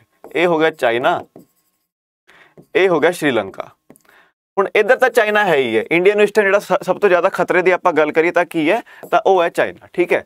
ਹੁਣ ਸ਼੍ਰੀਲੰਕਾ ਹੈ ਜਿਹੜਾ, ਸ਼੍ਰੀਲੰਕਾ ਪੂਰਾ ਲੁੱਟਿਆ ਪਿਆ, ਜੇ ਇੰਡੀਆ ਹੈਲਪ ਨਾ ਕਰੇ ਤਾਂ ਆਬਵੀਅਸ ਜੀ ਗੱਲ ਹੈ, ਚਾਈਨਾ ਹੈਲਪ ਕਰ ਕਰਕੇ ਕਰ ਕਰਕੇ ਇੰਨਾ ਲੋਨ ਚੜਾ ਦੇਣਾ ਇਹਨਾਂ ਉੱਤੇ ਤੇ ਅੱਗੇ ਜਾ ਕੇ ਸ਼੍ਰੀਲੰਕਾ ਬਸ ਨਾ ਸ਼੍ਰੀਲੰਕਾ ਹੋਊਗਾ, ਉਹਨਾਂ ਦੇ ਆਪਣੇ ਪ੍ਰਾਈਮ ਮਿਨਿਸਟਰ ਪ੍ਰੈਜ਼ੀਡੈਂਟ ਹੋਣਗੇ ਬਟ ਰੂਲ ਕੌਣ ਕਰ ਰਿਹਾ ਹੋਊਗਾ? ਥੱਲੇ ਵੀ ਆ ਜਾਊਗਾ ਸਾਡੇ ਚਾਈਨਾ, ਠੀਕ ਹੈ। ਥੱਲੇ ਵੀ ਆ ਜਾਊਗਾ ਸਾਡੇ ਚਾਈਨਾ। ਕਿਉਂ? ਕਿਉਂਕਿ ਪਾਕਿਸਤਾਨ ਅੱਜ ਨਹੀਂ ਤਾਂ ਕੱਲ 5 ਨਹੀਂ 10 ਨਹੀਂ 15 ਸਾਲਾਂ ਦੇ ਬਾਅਦ ਇਹ ਪਾਕਿਸਤਾਨ ਚਾਈਨਾ ਹੋਣ ਵਾਲਾ ਹੈ। ਤਾਂ ਇੰਡੀਆ ਲਈ ਦੇਖੋ ਕਿੰਨਾ ਔਖਾ ਹੋ ਜਾਊਗਾ, ਇੱਕ ਪਾਸੇ ਚਾਈਨਾ, ਦੂਜੇ ਪਾਸੇ ਚਾਈਨਾ ਤੇ ਫਿਰ ਤੀਜੇ ਪਾਸੇ ਵੀ ਚਾਈਨਾ। ਤਾਂ ਕਰਕੇ ਆਪਾਂ ਹੈਲਪ ਕਰ ਰਹੇ ਹਾਂ ਕਿ ਇਹਨੂੰ ਆਪਾਂ ਬਚਾ ਲਈਏ, ਕੁਛ ਤਾਂ ਕਰੀਏ, ਕੁਛ ਤਾਂ ਕਰੀਏ, ਕੁਛ ਤਾਂ ਕਰੀਏ। ਕਿਉਂਕਿ ਚਾਈਨਾ ਕੋਲ ਦੇਖੋ ਪੈਸਾ ਤਾਂ ਅਥਾਹ ਦਾ ਪੈਸਾ ਹੈ, ਠੀਕ ਹੈ, ਬਹੁਤ ਖੁੱਲਾ ਪੈਸਾ ਹੈ, ਠੀਕ ਹੈ, ਸਾਹੂਕਾਰ ਹੈ, ਬਹੁਤ ਤਗੜਾ ਹੋ ਕੰਟਰੀਆਂ ਨੂੰ ਪੈਸੇ ਦੇ ਦੇ ਕੇ ਖਰੀਦ ਰਿਹਾ ਹੋ ਖਰੀਦਦੇ ਨਹੀਂ ਬਸ ਕੀ ਹੁੰਦਾ? ਹੁਣ ਮੈਂ ਕੋਈ ਗਰੀਬ ਕੰਟਰੀ ਹੈ, ਠੀਕ ਹੈ? ਮੈਨੂੰ ਪਤਾ ਯਾਰ, ਮੇਰੇ ਕੋਲ ਪੈਸੇ ਨਹੀਂ ਹੈ, ਮੇਰੇ ਕੋਲ ਰਿਸੋਰਸਿਸ ਨਹੀਂ ਹੈ, ਠੀਕ ਹੈ? ਮੇਰੇ ਕੋਲ ਰਿਸੋਰਸਿਸ ਹੈ ਨਹੀਂ। ਤਾਂ ਮੈਨੂੰ ਪਤਾ ਯਾਰ, ਮੈਨੂੰ ਉੱਥੇ ਪੁਲ ਬਣਾਉਣ ਦੀ ਲੋੜ ਹੈ ਯਾਰ, ਬੱਚੇ ਹਜੇ ਵੀ ਟੁੱਟੇ ਹੋਏ ਪੁਲ ਤੇ ਜਾ ਰਹੇ ਨੇ ਜਾਂ ਫਿਰ 20 25 50 ਸਾਲ ਪਹਿਲਾਂ ਗੋਰੇ ਬਣਾ ਗਏ ਸੀਗੇ, ਹੁਣ ਤੱਕ ਉਹ ਪੁਲ ਬਣਿਆ ਹੋਇਆ। ਮੈਨੂੰ ਡੈਮ ਦੀ ਲੋੜ ਹੈ, ਮੈਨੂੰ ਪਾਣੀ ਦੀ ਲੋੜ ਹੈ ਹਾਈਡਰੋ ਪਾਵਰ ਪ੍ਰੋਜੈਕਟ ਚਾਹੀਦੇ ਨੇ, ਬਿਜਲੀ ਨਹੀਂ ਆ ਰਹੀ। ਹੁਣ ਸਾਨੂੰ ਕੀ ਕੀ ਮਿਲਦਾ ਸਾਨੂੰ? ਹੁਣ ਇੱਥੇ ਇੰਡੀਆ ਹੈ, ਇੱਧਰ ਅਫਰੀਕਾ ਹੈ, ਅਸੀਂ ਕੀ ਲੈਣਾ ਅਫਰੀਕਾ ਨੂੰ ਹੈਲਪ ਕਰਕੇ? ਇਹ ਆਪਾਂ ਪੜਿਆ ਹਜੇ ਸੀਆਈਆਈ ਕਨਕਲੇਵ ਸਾਨੂੰ ਕੀ, ਕੋਈ ਮਤਲਬ ਨਹੀਂ ਆਪਾਂ ਅਫਰੀਕਾ ਨੂੰ ਹੈਲਪ ਕਰਕੇ ਕੁਝ ਨਹੀਂ ਮਿਲੂਗਾ। ਕੁਝ ਵੀ ਨਹੀਂ ਇਨ ਰਿਟਰਨ ਲੋਨ ਹੀ ਦੇ ਰਹੇ ਆਪਾਂ 12.3 ਬਿਲੀਅਨ ਡਾਲਰ ਦਾ ਲੋਨ ਦੇ ਚੁੱਕੇ ਆਪਾਂ ਉਹਨਾਂ ਨੂੰ। ਕਾਦੇ ਲਈ ਹੈ? ਕਿਉਂਕਿ ਚਾਈਨਾ ਇੱਧਰ ਵੀ ਮੂੰਹ ਮਾਰ ਰਿਹਾ। ਚਾਈਨਾ ਹਰ ਥਾਂ ਮੂੰਹ ਮਾਰ ਰਿਹਾ। ਤਾਂ ਇੰਡੀਆ ਨੂੰ ਥੋੜੀ ਜਿਹੀ ਆਪਣੀ ਸੁਪਰੀਮੇਸੀ ਬਣਾਉਣ ਲਈ ਥੋੜਾ ਜਿਹਾ ਟੈਕਲ ਕਰਨ ਲਈ, ਦੂਜੀ ਕੰਟਰੀ ਨੂੰ ਦੱਸਣ ਲਈ ਕਿ ਨਹੀਂ, ਅਸੀਂ ਵੀ ਹੈਗੇ ਆ ਐਡੀ ਕੋਈ ਗੱਲ ਨਹੀਂਗੀ ਚਾਈਨਾ ਦੇ ਲੱਛਣ ਤੁਹਾਨੂੰ ਸਾਰਿਆਂ ਨੂੰ ਪਤਾ ਹੈ, ਅਸੀਂ ਥੋੜੇ ਅਸੀਂ ਹਮ ਹਮ ਅੱਛੇ ਹਾਂ। ਠੀਕ ਹੈ, ਹਮ ਅੱਛੇ ਹੈ, ਐ ਕਰਕੇ ਸਾਡੀ ਥੋੜੀ ਜਿਹੀ ਕੋਸ਼ਿਸ਼ ਚੱਲੀ ਹੋਈ ਹੈ। ਤਾਂ ਇਹ ਬੇਸਿਕ ਜੀ ਗੱਲ ਤੁਹਾਨੂੰ ਦੱਸਣ ਦੀ ਸੀਗੀ। ਥੋੜਾ ਜਿਹਾ ਟ੍ਰਿਵੀਆ ਹੁੰਦਾ ਜਨਰਲ ਟ੍ਰਿਵੀਆ ਪਤਾ ਹੋਣਾ ਚਾਹੀਦਾ। ਮੰਨ ਲਓ ਤੁਸੀਂ ਕੱਲ ਪਰਸੋਂ ਗੱਲਬਾਤ ਕਰ ਰਹੇ ਹੋ, ਕਿਸੇ ਨਾਲ ਤੁਸੀਂ ਬੈਠੇ ਹੋ, ਮਹਿਫਿਲ 'ਚ ਬੈਠ, ਬੈਠੇ ਤੁਸੀਂ ਕਿਸੇ ਪੈਗ ਪੁਗ ਲਾਏ ਹੋਏ। ਕਿਉਂਕਿ ਕੋਈ ਨਾ ਕੋਈ ਹੁੰਦਾ ਹੀ ਉਹ ਛੇੜੂਗਾ ਜ਼ਰੂਰ। ਚਾਈਨਾ ਯਾਰ, ਤੈਨੂੰ ਪਤਾ ਯਾਰ, ਚਾਈਨਾ ਬਹੁਤ ਤੇਜ਼ ਹੈ, ਕਹਿੰਦੇ ਚੀਨ ਯਾਰ, ਉਹ ਛੋਟੀ ਛੋਟੀ ਦੇ ਅੱਖਾਂ ਲੈ ਕੇ ਕਹਿੰਦੇ ਪਤਾ ਨਹੀਂ ਕੀ ਕੁਝ ਕਰ ਦਿੰਦੇ ਬਹੁਤ ਮੈਂ ਦੇਖੇ ਲੋਕਾਂ ਨੇ ਗੱਲਬਾਤ ਇੰਦੀ ਬਹੁਤ ਕਰਦੇ ਨੇ। ਤਾਂ ਉਹਨਾਂ ਨੂੰ ਬਸ ਫਿਰ ਥੋੜੀ ਜਿਹੀ ਦੱਸਣਾ ਪੈਂਦਾ ਥੋੜਾ ਜਿਹਾ ਗਿਆਨ ਜ਼ਰੂਰ ਦੇਣਾ ਤੁਸੀਂ। ਠੀਕ ਹੈ, ਬਸ ਉਹੋ ਜਿਹੇ ਲੋਕਾਂ ਨਾਲ ਵੀ ਗਿਆਨ ਨਹੀਂ ਦੇਣਾ। ਇੱਕ ਮੈਨੂੰ ਪਤਾ ਯਾਰ, ਮੈਂ ਹਾਸਾ ਆਇਆ ਮੈਨੂੰ ਉਹ ਤੇ ਗੱਲ ਤੇ ਤਾਂ। ਕਹਿੰਦਾ ਯਾਰ, ਅੰਬਾਨੀ ਨੇ ਸਭ ਖਰੀਦ ਲਿਆ। ਮੈਂ ਕਿਹਾ, ਹਾਂ, ਸਹੀ ਗੱਲ ਹੈ। ਕਹਿੰਦਾ ਅੰਬਾਨੀ ਨੇ ਏਅਰਟੈਲ ਵੀ ਖਰੀਦ ਲਿਆ। ਮੈਂ ਕਿਹਾ, ਨਹੀਂ, ਅੰਬਾਨੀ ਨੇ ਨਹੀਂ ਖਰੀਦਿਆ। ਮੈਂ ਕਿਹਾ, ਉਹ ਸੁਨੀਲ ਭਾਰਤੀ ਮਿੱਤਲ ਦੀ ਕੰਪਨੀ ਹੈ। ਮੈਂ ਕਿਹਾ ਸੁਖ ਨਾਲ ਮੈਂ ਕਿਹਾ, ਦੋ ਤਾਂ ਕੰਪਨੀਆਂ ਬਚੀਆਂ ਨੇ ਹੁਣ, ਮਤਲਬ BSNL ਵੀ ਹੈਗੀ ਹੈ ਕੰਪਨੀ ਬਟ BSNL ਕੰਪਨੀ ਥੋੜੀ ਜਿਹੀ ਹੋਰ ਹੈਗੀ ਕਿ, ਹਾਂ, ਠੀਕ ਹੈ ਯਾਰ। ਜਿਨ੍ਹਾਂ ਨੇ ਯੂਜ਼ ਕਰ ਰਹੇ ਨੇ ਯੂਜ਼ ਕਰ ਰਹੇ ਨੇ, ਨਵਾਂ ਕੋਈ ਬੰਦਾ ਨਹੀਂ ਯੂਜ਼ ਕਰਦਾ। ਨਵਾਂ ਜਾਂ ਤਾਂ Jio ਲੈ ਰਿਹਾ ਜਾਂ ਫਿਰ Airtel ਲੈ ਰਿਹਾ ਵੋਡਾਫੋਨ ਆਈਡੀਆ ਵੀ ਬਹੁਤ ਘੱਟ। ਤਾਂ ਨੀਅਰ ਨੀਅਰ ਡੂਓਪੋਲੀ ਹੋ ਗਈ। ਡੂਓ ਮਤਲਬ ਦੋ ਪੋਲੀ ਮਤਲਬ ਕਿ ਦੋ ਬੰਦਿਆਂ ਦੀ ਸੁਪਰੀਮੇਸੀ ਤਾਂ ਉਹ ਮੇਰੇ ਨਾਲ ਬੈਠੜ ਗਿਆ। ਕਹਿੰਦਾ, ਯਾਰ ਤੁਹਾਨੂੰ ਪਤਾ ਹੀ ਨਹੀਂ। ਕਹਿੰਦੇ, ਜੀ ਅੰਬਾਨੀ ਨੇ Airtel ਖਰੀਦ ਲਈ। ਮੈਂ ਕਿਹਾ, ਅੱਛਾ। ਹੋ ਕਹਿੰਦੇ, ਸਭ ਖਰੀਦ ਲੈਣਾ। ਮੈਂ ਕਿਹਾ, ਓਕੇ। ਮੈਂ ਕਿਹਾ, ਪਤਾ ਨਹੀਂ ਥਾ ਮੇਰੇ ਕੋ ਮੈਂ ਕਿਹਾ, ਸੱਚੀ, ਬਸ ਥੈਂਕ ਯੂ ਯਾਰ। ਕਿਉਂਕਿ ਉਹ ਜਿਹੇ ਬੰਦਿਆਂ ਨਾਲ ਵੀ ਮੱਥਾ ਨਹੀਂ ਲਾਣਾ ਨਾ, ਜਿਨ੍ਹਾਂ ਨੂੰ ਕੁਝ ਪਤਾ ਹੀ ਨਾ ਹੋਵੇ, ਜਿਨ੍ਹਾਂ ਨੇ ਮੰਨਣੀ ਨਾ ਹੋਵੇ। ਹੈਨਾ ਤਾਂ ਜੀ ਤੁਸੀਂ ਕੀ ਕਰਦੇ ਹੋ दारू ਵਾਲਿਆਂ ਕੋਲ ਜੀ? ਯਾਰ दारू ਤਾਂ ਯਾਰ ਹਰ ਕੋਈ ਪੀਂਦੇ, ਨਾਲ ਮਤਲਬ ਹੁੰਦੇ ਹੀ ਆ ਯਾਰ, ਹੁਣ ਐ ਥੋੜੀ ਵੀ ਭਾਜੀ ਦੂਰ ਰਹੋ। ਬਹਿ ਕੇ ਨਾਲ ਕੋਈ ਚੱਕਰ ਨਹੀਂ, ਤਾਂ ਉਹ ਮੈਂ ਦੱਸ ਰਿਹਾ ਤੁਹਾਨੂੰ, ਹੈ? ਮੈਂ ਕਹਿੰਦਾ, ਹਾਂ, ਮੈਂ ਕਹਾ ਹਾਂਜੀ ਬਿਲਕੁਲ ਬਿਲਕੁਲ ਅੰਬਾਨੀ ਨੇ ਖਰੀਦ ਲਿਆ 에ਅਰਟੈਲ ਡਨ ਡੀਲ ਹੈ ਨਾ? ਚਲੋ, ਹੁਣ ਪੜ ਲਈਏ, ਚਲੋ। ਅਗਲਾ ਤਾਂ ਅਗਲਾ ਤਾਂ ਕੀ ਸੀਆਈਆਈ ਬਾਰੇ ਵੀ ਗੱਲ ਇੰਪੋਰਟੈਂਟ ਹੈ ਆਬਵੀਅਸ ਜੀ ਗੱਲ ਹੈ। ਸਾ ਸੀਆਈਆਈ ਬਹੁਤ ਪੁਰਾਣੀ ਹੈ ਕਨਫੈਡਰੇਸ਼ਨ ਆਫ ਇੰਡੀਅਨ ਇੰਡਸਟਰੀਜ਼ ਹੈ। 1895 ਨਈ ਦਿੱਲੀ ਤੇ ਪ੍ਰਧਾਨ ਦਾ ਨਾਮ ਹੈ ਸੰਜੀਵ ਬਜਾਜ, ਠੀਕ ਹੈ? ਪ੍ਰਧਾਨ ਦਾ ਨਾਮ ਹੈ ਸੰਜੀਵ ਬਜਾਜ। ਹਾਂ ਹਾਂ ਉਹ, ਉਹਨਾਂ ਦੇ ਲੱਗੇ ਹੀ ਹੁੰਦੇ ਜੋ ਇਹ ਜੀ ਗੱਲਾਂ ਕਰਦੇ ਨਾ 에ਅਰਟੈਲ ਵੀ ਖਰੀਦ ਲਿਆ, ਅੰਬਾਨੀ ਨੇ ਅੰਬਾਨੀ ਨੇ ਸਭ ਖਰੀਦ ਲਿਆ। ਹੁਣ ਤੁਹਾਨੂੰ ਇੱਕ ਗੱਲ ਦੱਸੀ ਹੈ ਰੀਅਲ ਟਾਈਮ ਜਿਹੜਾ ਐਨਾਲਿਸਿਸ ਹੁੰਦਾ ਨਾ ਵੀ ਯਾਰ ਸ਼ੇਅਰ ਮਾਰਕੀਟ ਵਧ ਰਹੀ ਹੈ, ਉੱਤੇ ਚੜ ਰਹੀ ਹੈ, ਥੱਲੇ ਆ ਰਹੀ ਹੈ, ਉੱਤੇ ਚੜ ਰਹੀ ਹੈ, ਤਾਂ ਉਹਦੇ ਹਿਸਾਬ ਨਾਲ ਐਜ਼ ਆਫ ਨਾਓ ਅੱਜ ਦੀ ਡੇਟ ਵਿੱਚ ਜਿਹੜੇ 8:30 ਵਜੇ ਨੇ, ਗੌਤਮ ਅਡਾਨੀ ਦੀ ਜਿਹੜੀ ਨੈਟਵਰਥ ਹੈ, ਗੌਤਮ ਅਡਾਨੀ ਜਿਹੜਾ ਪੈਸੇ ਨੇ, ਉਹ ਬਿਲ ਗੇਟਸ ਤੋਂ ਵੀ ਉੱਤੇ ਜਾ ਚੁੱਕੇ ਨੇ। ਵੈਸੇ ਦੱਸ ਦਵਾਂ ਤੁਹਾਨੂੰ ਬਟ ਸਾਡੇ ਪੇਪਰ ਲਈ ਰੈਲੀਵੈਂਟ ਨਹੀਂ ਹੈ, ਕਿਉਂਕਿ ਯਾਰ ਸਾਡੇ ਪੇਪਰ ਲਈ ਰੈਲੇਵੈਂਟ ਹੈ ਜਿਹੜੀ ਪਬਲਿਸ਼ ਹੋ ਚੁੱਕੇ ਨੇ ਰਿਪੋਰਟ ਫੋਰਬਸ ਦੀ ਰਿਪੋਰਟ ਆ ਗਈ ਹੁਰੂਨ ਦੀ ਰਿਪੋਰਟ ਆ ਗਈ ਹੈ। ਤਾਂ ਐਜ਼ ਆਫ ਨਾਓ ਅਡਾਨੀ ਭਾਜੀ ਟੱਪ ਚੁੱਕੇ ਨੇ ਬਿਲ ਗੇਟਸ ਤੋਂ ਉੱਤੇ। ਜੇ ਕੋਈ ਰਿਪੋਰਟ ਆਊਗੀ, ਮੈਂ ਤੁਹਾਨੂੰ ਕਰਾ ਦੂੰਗਾ ਬਟ ਰੀਅਲ ਟਾਈਮ ਐ ਚੱਲਦਾ ਰਹਿੰਦਾ ਉਹ, ਹੈ ਨਾ? ਚਲੋ। ਤਾਂ ਜੀ ਇਸਰੋ ਨੇ ਲਾਂਚ ਕੀਤੀ ਹੈ, ਕਹਿੰਦੇ 300 ਇਹ ਤਾਂ ਆਪਾਂ ਕਰ ਲਿਆ ਸੀ ਸ਼ਾਇਦ। ਹਾਂ, ਇਹ ਤਾਂ ਆਪਾਂ ਕਰ ਲਿਆ ਸੀ। ਇਹ ਪਤਾ ਨਹੀਂ ਕਿੱਦਾਂ ਰਹਿ ਗਿਆ। ਹਾਂ, ਤਾਂ ਜੀ ਯੂਨੀਅਨ ਕੈਬਨਿਟ ਨੇ ਅਪਰੂਵ ਕੀਤਾ signing of MOU in field of judicial cooperation between India and Maldives ਤਾਂ ਮੋਦੀ ਜੀ ਨੇ ਇਹਨਾਂ ਦੇ ਬਹੁਤ ਹੀ ਗੁੱਡ ਫਰੈਂਡ ਨੇ, ਨਾ ਕਿ ਇਹਨਾਂ ਦਾ? ਇਬਰਾਹਿਮ ਮੁਹੰਮਦ ਸੋਲੀ ਉਹ ਚਲੋ ਚਲੋ, ਨਮਕੀਨਾ ਤੋਂ ਬਾਹਰ ਆ ਜਾਓ, ਖਾਰੇ ਤੋਂ ਬਾਹਰ ਆ ਜਾਓ, ਪਤਾ ਨਹੀਂ ਕਿੱਥੇ ਵੜ ਗਏ, ਦੱਸੋ। ਇਧਰ ਆਓ ਇਧਰ ਆਓ। ਤਾਂ ਇਹ ਨੇ ਜੀ ਇਬਰਾਹਿਮ ਮੁਹੰਮਦ ਸੋਲੀ ਮਾਲਦੀਵ ਦੇ ਪ੍ਰਧਾਨ ਮੰਤਰੀ ਨੇ। ਤਾਂ ਜੀ ਇਹਨਾਂ ਦੀ ਕਰੰਸੀ ਹੋ ਜਾਂਦੀ ਹੈ ਰੂਫੀਆ ਰੂਪੀਆ ਨਹੀਂ ਰੂਫੀਆ ਕੈਪੀਟਲ ਹੈ ਮਾਲੇ। ਤਾਂ ਸਾਡੇ ਬਹੁਤ ਹੀ ਨੇੜੇ ਪੈਂਦੀ ਹੈ ਕੰਟਰੀ ਹੈ ਤਾਂ ਕਰਕੇ ਬਹੁਤ ਗੱਲਬਾਤ ਬਹੁਤ ਵਧੀਆ ਇਹਨਾਂ ਨਾਲ, ਕਦੇ ਆਪਾਂ ਰੀਨਿਊਏਬਲ એનર્ਜੀ ਵਿੱਚ ਇਹਨਾਂ ਨਾਲ ਆਪਾਂ ਟਾਈ ਅਪ ਕੀਤਾ ਹੋਇਆ। ਕੋਈ ਵੀ ਹੈਲਪ ਚਾਹੀਦੀ ਹੈ ਮਾਲਦੀਵ ਵਾਲਿਆਂ ਨੂੰ, ਅਸੀਂ ਸਭ ਤੋਂ ਪਹਿਲਾਂ ਮਤਲਬ ਇਹ ਸਾਡੇ ਕੋਲ ਆਉਂਦੇ ਨੇ, ਅਸੀਂ ਸਭ ਤੋਂ ਪਹਿਲਾਂ ਇਹਨਾਂ ਦੀ ਹੈਲਪ ਕਰਦੇ ਨੇ। ਹੋਰ ਆਪਾਂ ਗੱਲਾਂ ਕਰੀਏ ਤਾਂ ਇੱਕ ਇੰਡੀਆ ਆਊਟ ਕੈਂਪੇਨ ਆਇਆ ਸੀਗਾ, ਉਹ ਵੀ ਮਾਲਦੀਵ ਵਿੱਚ ਆਇਆ ਸੀਗਾ। ਉਧਰ ਦੇ ਲੋਕ ਕਹਿ ਰਹੇ ਸੀਗੇ, ਤੁਸੀਂ ਭਾਰਤ ਦੀ ਸੈਨਾ ਨੂੰ ਤੁਸੀਂ ਇੱਧਰ ਸ਼ਰਨ ਦਿੱਤੀ ਹੋਈ ਹੈ, ਕਿਉਂ ਰੁਕ ਰਹੇ ਹੋ? ਤਾਂ ਉਹ ਉਧਰ ਸ਼ੁਰੂ ਹੋਇਆ ਸੀਗਾ ਇੰਡੀਆ ਆਊਟ ਮਾਲ ਕੈਂਪੇਨ ਤਾਂ ਐਨੀਵੇ ਨਾ ਜੁਡੀਸ਼ੀਅਲ ਕੋਆਪਰੇਸ਼ਨ ਦੀ ਫੀਲਡ ਵਿੱਚ ਹੀ ਆਪਾਂ ਗੱਲਬਾਤ ਕੀਤੀ ਹੈ ਮਾਲਦੀਵਸ ਵਾਲਿਆਂ ਨਾਲ। ਕਹਿੰਦੇ ਜੀ, ਆਪਾਂ ਦੋਨੇ ਪ੍ਰੋਵਾਈਡ ਕਰੋਗੇ platform to tap the benefits of IT for code digitisation ਹੁਣ ਇੰਡੀਆ ਵਿੱਚ ਤੁਹਾਨੂੰ ਪਤਾ ਯਾਰ ਕਿੰਨਾ ਵਧੀਆ ਚੱਲਿਆ ਹੋਇਆ ਕੋਟ ਹੈ ਨਾ? ਆਨਲਾਈਨ ਚੱਲ ਜਾਂਦਾ ਹੁੰਦਾ ਜੇ ਕਿਸੇ ਨੂੰ ਲੋਡ ਹੋਵੇ। And can be a potential growth area for the IT companies and startups in both countries basic ਜੀ ਗੱਲ ਹੈ ਆਈਟੀ ਦੀ ਫੀਲਡ ਵਿੱਚ ਅੱਗੇ ਜਾਣਾ ਹੈ। ਫੋਰਬਸ ਦੀ ਰਿਪੋਰਟ ਹੈ, ਲੇਕਿਨ ਰੀਅਲ ਟਾਈਮ ਐਨਾਲਿਸਿਸ ਹੈ ਉਹ। ਰੀਅਲ ਟਾਈਮ ਐਨਾਲਿਸਿਸ ਮਤਲਬ ਇਹ ਇਹ ਮੈਂ ਨੱਚ ਨਹੀਂ ਰਿਹਾ, ਕਦੇ ਉੱਤੇ, ਕਦੇ ਥੱਲੇ, ਕਦੇ ਉੱਤੇ, ਕਦੇ ਥੱਲੇ। ਪ੍ਰੋਪਰ ਰਿਪੋਰਟ ਨਹੀਂ ਹੈ ਉਹ। ਬਲੂਮਬਰਗ ਦੀ ਆਂਦੀ ਹੈ ਫੋਰਬਸ ਦੀ ਆਂਦੀ ਹੈ, ਉਹ ਰੀਅਲ ਟਾਈਮ ਐਨਾਲਿਸਿਸ ਕਰਦੇ ਰਹਿੰਦੇ ਨੇ। As of now Elon Musk ਹੋ ਸਕਦਾ ਵੀ ਥੱਲੇ ਆ ਜਾਏ, ਉੱਤੇ ਚੱਲ ਜਾਏ ਬਟ ਜਿਹੜੀ ਰਿਪੋਰਟ ਆਂਦੀ ਹੈ ਕਿ ਨਾ ਰਿਪੋਰਟ ਆਂਦੀ ਆ। ਹੁਣ ਕ੍ਰਿਕਟ ਮੈਚ ਸਾਰੇ ਸਾਲ ਖੇਡੇ ਜਾਂਦੇ ਨੇ ਬਟ ਜਿਹੜੀ ਇੱਕ ਸ਼ੀਲਡ ਮਿਲਦੀ ਹੈ ਉਹ ਤਾਂ ਸਾਲ ਦੇ ਅੰਤ ਤੇ ਮਿਲਦੀ ਹੈ। ਹੁਣ ਪੈਸੇ ਤਾਂ ਐਂ ਕਰਕੇ ਸਰਕਾਰ ਜੀਐਸਟੀ ਹਰ ਸਾਲ, ਹਰ ਮਹੀਨੇ ਵਧਾਉਂਦੀ ਘਟਦੀ ਰਹਿੰਦੀ ਹੈ। ਬਟ ਜਿਹੜਾ ਓਵਰਆਲ ਹੁੰਦਾ ਉਹ ਸਾਲ ਦੇ ਐਂਡ ਤੇ ਹੁੰਦਾ ਤਾਂ ਉਹ ਸਾਡੇ ਲਈ ਥੋੜਾ ਜਿਹਾ ਜ਼ਿਆਦਾ ਇੰਪੋਰਟੈਂਟ ਹੋ ਜਾਂਦਾ, ਠੀਕ ਹੈ? ਤਾਂ ਇਹ ਸਾਰੀ ਗੱਲਾਂ ਹੁਣ ਮਾਲਦੀਵਸ ਬਾਰੇ ਦੋ ਚਾਰ ਗੱਲਾਂ ਉਹੀ ਮੈਂ ਦੱਸ ਚੁੱਕਾ ਤੁਹਾਨੂੰ। ਇਬਰਾਹਿਮ ਮੁਹੰਮਦ ਸੋਲੀ, ਰੁਫੀਆ ਤੇ ਮਾਲੇ। ਤੇ ਪੈਂਦੀ ਕਿੱਥੇ ਕੰਟਰੀ? ਇੱਕ ਵਾਰ ਮੈਪ ਦੇ ਹਿਸਾਬ ਨਾਲ ਦੇਖ ਲਓ ਤਾਂ ਇਹ ਸਾਡਾ ਇੰਡੀਆ ਤੁਹਾਨੂੰ ਪਤਾ, ਸ਼੍ਰੀਲੰਕਾ। ਇਹ ਲਕਸ਼ਦੀਪ ਹੈ ਤੇ ਜਮਾ ਹੀ ਨੇੜੇ ਸਾਡੇ ਪੈਂਦੀ ਹੈ ਮਾਲਦੀਵਸ ਪੈਂਦੀ ਹੈ। ਯਾਰ ਬੇਲੀ ਗਿਆ ਹੋਇਆ ਮੇਰਾ ਮਾਲਦੀਵਸ ਘੁੰਮਣ ਨਾ ਇਸ ਟਾਈਮ ਤਾਂ ਕਹਿੰਦਾ ਬਹੁਤ ਸਸਤੀ ਹੋਈ ਹੋਈ ਸੀ ਫਲੈਟਾਂ ਤਾਂ ਕਹਿੰਦੇ ਜਿਹੜੇ ਉੱਥੇ ਰਿਜ਼ੋਰਟ ਸੀਗੇ, ਕਹਿੰਦੇ ਜਿਹੜੇ 45 45 50 50 ਹਜ਼ਾਰ ਤੇ ਦੇ ਰਹੇ ਸੀਗੇ ਪੈਕੇਜ ਕਹਿੰਦੇ ਹਫ਼ਤੇ ਦਾ, ਉਹ 45 50 ਤੋਂ ਲੈ ਕੇ ਕਹਿੰਦੇ 25000 ਤੇ ਆ ਗਏ ਸੀ। ਕਹਿੰਦਾ ਮੈਂ ਠੀਕ ਹੈ। ਤਾਂ ਨਿਕਲ ਗਿਆ ਉਹ ਬਾਈ। ਤੇ ਦੋ ਮੁੰਡੇ ਗਏ ਉਹ, ਤੇ ਉੱਥੇ ਜਾ ਕੇ ਪਤਾ ਲੱਗਿਆ ਕਿ ਉੱਥੇ ਤਾਂ ਮੀਂਹ ਪਈ ਜਾਂਦਾ। ਮੈਂ ਕਿਹਾ, ਤੈਨੂੰ ਕਿਉਂ ਲੱਗਿਆ ਉੱਥੇ? ਇੰਨਾ ਸਸਤਾ ਕੀਤਾ ਹੋਇਆ ਸੀ। ਕਿਉਂਕਿ ਦੇਖੋ, ਜਿਹੜਾ ਸਾਡਾ ਮੌਨਸੂਨ ਆਂਦਾ ਹੈ ਨਾ, ਜੇ ਤੁਸੀਂ ਪਤਾ ਨਹੀਂ ਪੜਿਆ ਹੋਵੇ ਮੌਨਸੂਨ ਤੁਹਾਨੂੰ ਪੜਾਇਆ ਹੋਵੇ, ਨਹੀਂ ਪੜਾਇਆ ਹੋਵੇ, ਮੈਨੂੰ ਆਈਡੀਆ ਨਹੀਂ। ਤਾਂ ਸਾਡਾ ਮੌਨਸੂਨ ਦਾ ਹਿਸਾਬ ਕਿਤਾਬ ਕੀ ਹੁੰਦਾ? ਇਹ ਜਿੱਦਾਂ ਅਰਥ ਹੈ। ਇਹ ਇਕਵੇਟਰ ਹੋ ਗਿਆ। ਇੱਕ ਚੀਜ਼ ਹੁੰਦੀ ਹੈ ਜਿਹਨੂੰ ਕਿਹਾ ਜਾਂਦਾ ਹੈ ITCZ inter tropical convergence zone ਉਹ ਇੱਧਰ ਇੱਧਰ ਐ ਕਰਕੇ ਕੁਝ ਘੁੰਮਦੀ ਹੈ। ਤੇ ਜਦੋਂ ਮੌਨਸੂਨ ਵਾਲਾ ਸੀਜ਼ਨ ਹੁੰਦਾ ਇੱਧਰ ਇੰਡੀਆ ਹੁੰਦਾ ਤਾਂ ਇੱਧਰ ਨੇੜੇ ਆ ਜਾਂਦੀ ਹੈ ਸਾਡੇ। ਤਾਂ ਹੁੰਦਾ ਕਿ ਜਿਹੜੀ ਹਵਾਵਾਂ ਹੁੰਦੀਆਂ ਨੇ, ਉਹ ਇੱਥੋਂ ਜਾ ਕੇ ਘੁੰਮ ਕੇ ਆਉਂਦੀਆਂ ਨੇ। ਇੱਥੋਂ ਘੁੰਮ ਕੇ ਆਉਂਦੀਆਂ ਨੇ, ਤਾਂ ਹੀ ਜਿਹੜਾ ਮੌਨਸੂਨ ਹੈ ਸਾਡਾ, ਜਿਹੜਾ ਸਾਡਾ ਮੌਨਸੂਨ ਹੈ, ਉਹ ਹਮੇਸ਼ਾ ਇੱਥੋਂ ਐਂਟਰ ਕਰਦਾ ਹੈ। ਇੱਥੋਂ ਉੱਤੇ ਜਾਂਦਾ, ਫਿਰ ਬਾਅਦ ਚ ਘੁੰਮ ਕੇ ਵਾਪਸ ਆ ਜਾਂਦਾ ਤਾਂ ਇੱਧਰ ਤਾਂ ਮਾਲਦੀਵ ਵੀ ਤਾਂ ਇੱਧਰ ਹੀ ਪੈਂਦਾ, ਤਾਂ ਮਾਲਦੀਵ ਵੀ ਤਾਂ ਇੱਧਰ ਹੀ ਪੈਂਦਾ, ਤਾਂ ਉੱਥੋਂ ਤਾਂ ਹੋ ਕੇ ਜਾਊਗਾ ਹੀ। ਤਾਂ ਉੱਥੇ ਹੋ ਜਾਂਦੇ ਨੇ, ਮੀਂਹ ਬਹੁਤ ਪੈਂਦਾ, ਬਹੁਤ ਜ਼ਿਆਦਾ ਮੀਂਹ ਪੈਂਦਾ ਆਈਲੈਂਡ ਨੇਸ਼ਨ ਹੈ, ਛੋਟਾ ਜਿਹਾ ਨੇਸ਼ਨ ਹੈ, ਮੀਂਹ ਬਹੁਤ ਪੈਂਦਾ, ਤਾਂ ਕਰਕੇ ਰੇਟ ਬਹੁਤ ਘੱਟ ਹੋਏ ਹੋਏ ਨੇ, ਕਿਸੇ ਨੇ ਘੁੰਮਣ ਜਾਣਾ ਹੋ ਜਾ ਸਕਦਾ ਹੈ, ਟੌਰ ਨਾਲ ਘੁੰਮੇ ਬਟ ਮੀਂਹ ਬਹੁਤ ਪਊਗਾ ਉੱਥੇ, ਠੀਕ ਹੈ। ਤੁਸੀਂ ਵੀ ਚਲੇ ਜਾਂਦੇ ਆਪਾਂ ਪੜਦੇ ਕਿਦਾਂ, ਤੇ ਬਹੁਤ ਵਧੀਆ ਯਾਰ, ਦੋਸਤੀ ਐਕਸਰਸਾਈਜ਼ ਮਾਲਦੀਵ ਸ਼੍ਰੀਲੰਕਾ ਇੰਡੀਆ ਬਹੁਤ ਵਧੀਆ ਯਾਰ ਪੇਪਰ 'ਚ ਸਵਾਲ ਆਇਆ ਹੋਇਆ ਹੈ ਨਾ, ਨੈਬ ਤਹਿਸੀਲਦਾਰ ਵਿੱਚ। ਚਲੋ, ਇਹ ਇੰਪੋਰਟੈਂਟ ਗੱਲ ਤੁਹਾਨੂੰ ਮੈਂ ਦੱਸਿਆ ਸੀਗਾ ਨੀਤੀ ਆਯੋਗ ਨੇ ਰਿਲੀਜ਼ ਕਰਨਾ ਤੀਜਾ edition of innovation index India innovation index ਤਾਂ ਕੱਲ ਮੈਂ ਦੱਸਤਾ ਸੀਗਾ, ਪਿਛਲੇ ਸਾਲ ਦੀ ਗੱਲ ਕਰੀਏ ਤਾਂ ਕਰਨਾਟਕਾ ਟੌਪ ਤੇ ਸੀਗਾ। ਇਸ ਸਾਲ ਇਸ ਸਾਲ ਕੀ ਹੋਇਆ, ਇਸ ਸਾਲ ਕੀ ਕਾਰਾ ਕੀਤਾ ਹੈ? ਇਸ ਸਾਲ ਤਾਂ ਥਰਡ ਐਡੀਸ਼ਨ ਹੋਇਆ। ਤਾਂ ਕਰਨਾਟਕਾ ਮਣੀਪੁਰ ਤੇ ਚੰਡੀਗੜ੍ਹ ਆਪਣੀ ਰਿਸਪੈਕਟਿਵ ਕੈਟਾਗਰੀਜ਼ ਵਿੱਚ ਟੌਪ ਤੇ ਨੇ, ਆਪਣੀ ਰਿਸਪੈਕਟਿਵ ਕੈਟਾਗਰੀ ਤਾਂ ਪਿਛਲੇ ਸਾਲ ਵੀ ਕਰਨਾਟਕਾ ਟੌਪ ਤੇ ਤੇ ਇਸ ਸਾਲ ਵੀ ਕਰਨਾਟਕਾ ਟੌਪ ਤੇ। ਦੋਨੇ ਸਾਲ ਕਰਨਾਟਕਾ ਟੌਪ ਤੇ। ਤੇ ਮੈਂ ਗੱਲ ਦੱਸਤੀ ਸੀ ਕੌਣ ਲਾਂਚ ਕਰੂਗਾ, ਸਾਡੇ ਜਿਹੜੇ ਵਾਈਸ ਚੇਅਰਮੈਨ ਸਾਹਿਬ ਨੇ ਕੌਣ? ਸੁਮਨ ਬੈਰੀ ਜੀ, ਉਹਨਾਂ ਨੇ ਲਾਂਚ ਕੀਤਾ, ਠੀਕ ਹੈ? ਸੁਮਨ ਬੈਰੀ ਜੀ ਨੇ ਲਾਂਚ ਕੀਤਾ ਹੈ। ਤਾਂ ਇਹ ਇੱਕ ਵਾਰ ਇੰਡੈਕਸ ਹੁਣ ਦੇਖ ਲਓ, ਧਿਆਨ ਨਾਲ। ਇਹ ਰਿਹਾ ਇੰਡੈਕਸ ਤਾਂ ਜੀ ਵੱਡੀ ਸਟੇਟਾਂ ਦੀ ਗੱਲ ਕਰੀਏ ਮੇਜਰ ਸਟੇਟਾਂ ਦੀ ਗੱਲ ਕਰੀਏ, ਤਾਂ ਇਹਨਾਂ ਵਿੱਚ ਕਰਨਾਟਕਾ ਦੀ ਰੈਂਕ ਆਈ ਹੈ ਫਸਟ ਸੈਕਿੰਡ ਆਈ ਹੈ ਤੇਲੰਗਾਨਾ ਥਰਡ ਆਈ ਹੈ ਹਰਿਆਣਾ ਤੇ ਪੰਜਾਬ ਦੀ ਰੈਂਕ ਆਈ ਹੈ 6th ਤਾਂ ਜੀ ਬਹੁਤ ਵਧੀਆ ਹੈ, ਪਿਛਲੇ ਸਾਲ ਪੰਜਾਬ ਦੀ ਰੈਂਕ ਕਿੰਨੀ ਸੀ? 10th ਤਾਂ ਪੰਜਾਬ ਦੀ ਰੈਂਕ ਨੂੰ ਰਿਲੇਟ ਕਰਕੇ ਪਲੀਜ਼ ਪਲੀਜ਼ ਹੱਥ ਬੰਨ ਕੇ ਯਾਦ ਰੱਖਣਾ, ਪਿਛਲੇ ਸਾਲ ਪੰਜਾਬ ਦੀ ਰੈਂਕ ਸੀਗੀ 10th ਇਸ ਸਾਲ ਪੰਜਾਬ ਦੀ ਰੈਂਕ ਹੈ 6th ਪਿਛਲੇ ਸਾਲ ਫਸਟ ਸੀ ਕਰਨਾਟਕਾ ਤੇ ਇਸ ਸਾਲ ਵੀ ਫਸਟ ਤੇ ਹੈ ਕਰਨਾਟਕਾ। ਇਹ ਹੋਗੀ ਵੱਡੀ ਸਟੇਟਾਂ ਦੀ ਗੱਲ, ਠੀਕ ਹੈ? ਵੱਡੀ ਸਟੇਟਾਂ ਦੀ। ਹੁਣ ਆਪਾਂ ਯੂਟੀਆਂ ਅਤੇ ਨਾਰਥ ਈਸਟ ਹਿਲ ਸਟੇਟਾਂ ਦੀ ਗੱਲ ਕਰ ਲਈਏ, ਤਾਂ ਯੂਟੀ ਵਿੱਚ ਤੁਹਾਨੂੰ ਜਾਣ ਕੇ ਬੜੀ ਖੁਸ਼ੀ ਹੋਊਗੀ, ਚੰਡੀਗੜ੍ਹ ਫਸਟ ਤੇ ਆ ਚੁੱਕਾ ਪਿਛਲੀ ਵਾਰ ਸੈਕਿੰਡ ਤੇ ਸੀ ਤੇ ਦਿੱਲੀ ਸੈਕਿੰਡ ਤੇ ਆ ਚੁੱਕਾ ਪਿਛਲੀ ਵਾਰ ਫਸਟ ਤੇ ਸੀ। ਤੇ ਨਾਰਥ ਈਸਟ ਹਿਲ ਸਟੇਟਾਂ ਦੀ ਗੱਲ ਕਰ ਲਈਏ ਤਾਂ ਮਣੀਪੁਰ ਹੈ ਟੌਪ ਤੇ। ਬਹੁਤ ਹੀ ਸਿੰਪਲ ਬਹੁਤ ਹੀ ਬੇਸਿਕ ਪੇਪਰ ਵਿੱਚ ਸਵਾਲ ਲਿਖ ਕੇ ਲੈ ਲਓ ਗਰੰਟੀਡ ਆਇਆ ਹੀ ਆਇਆ। ਹੁਣ ਇਨੋਵੇਸ਼ਨ ਇੰਡੈਕਸ ਬਾਰੇ ਮੈਂ ਕੱਲ ਗੱਲ ਕੀ ਕਹੀ ਸੀ? ਜਿੱਥੇ ਕਹਿੰਦੇ ਲੋਡ ਪਏ, ਉੱਥੇ ਤੁਸੀਂ ਕੁਝ ਨਵੀਂ ਚੀਜ਼ ਕੱਢ ਕੇ ਲਿਆਓ।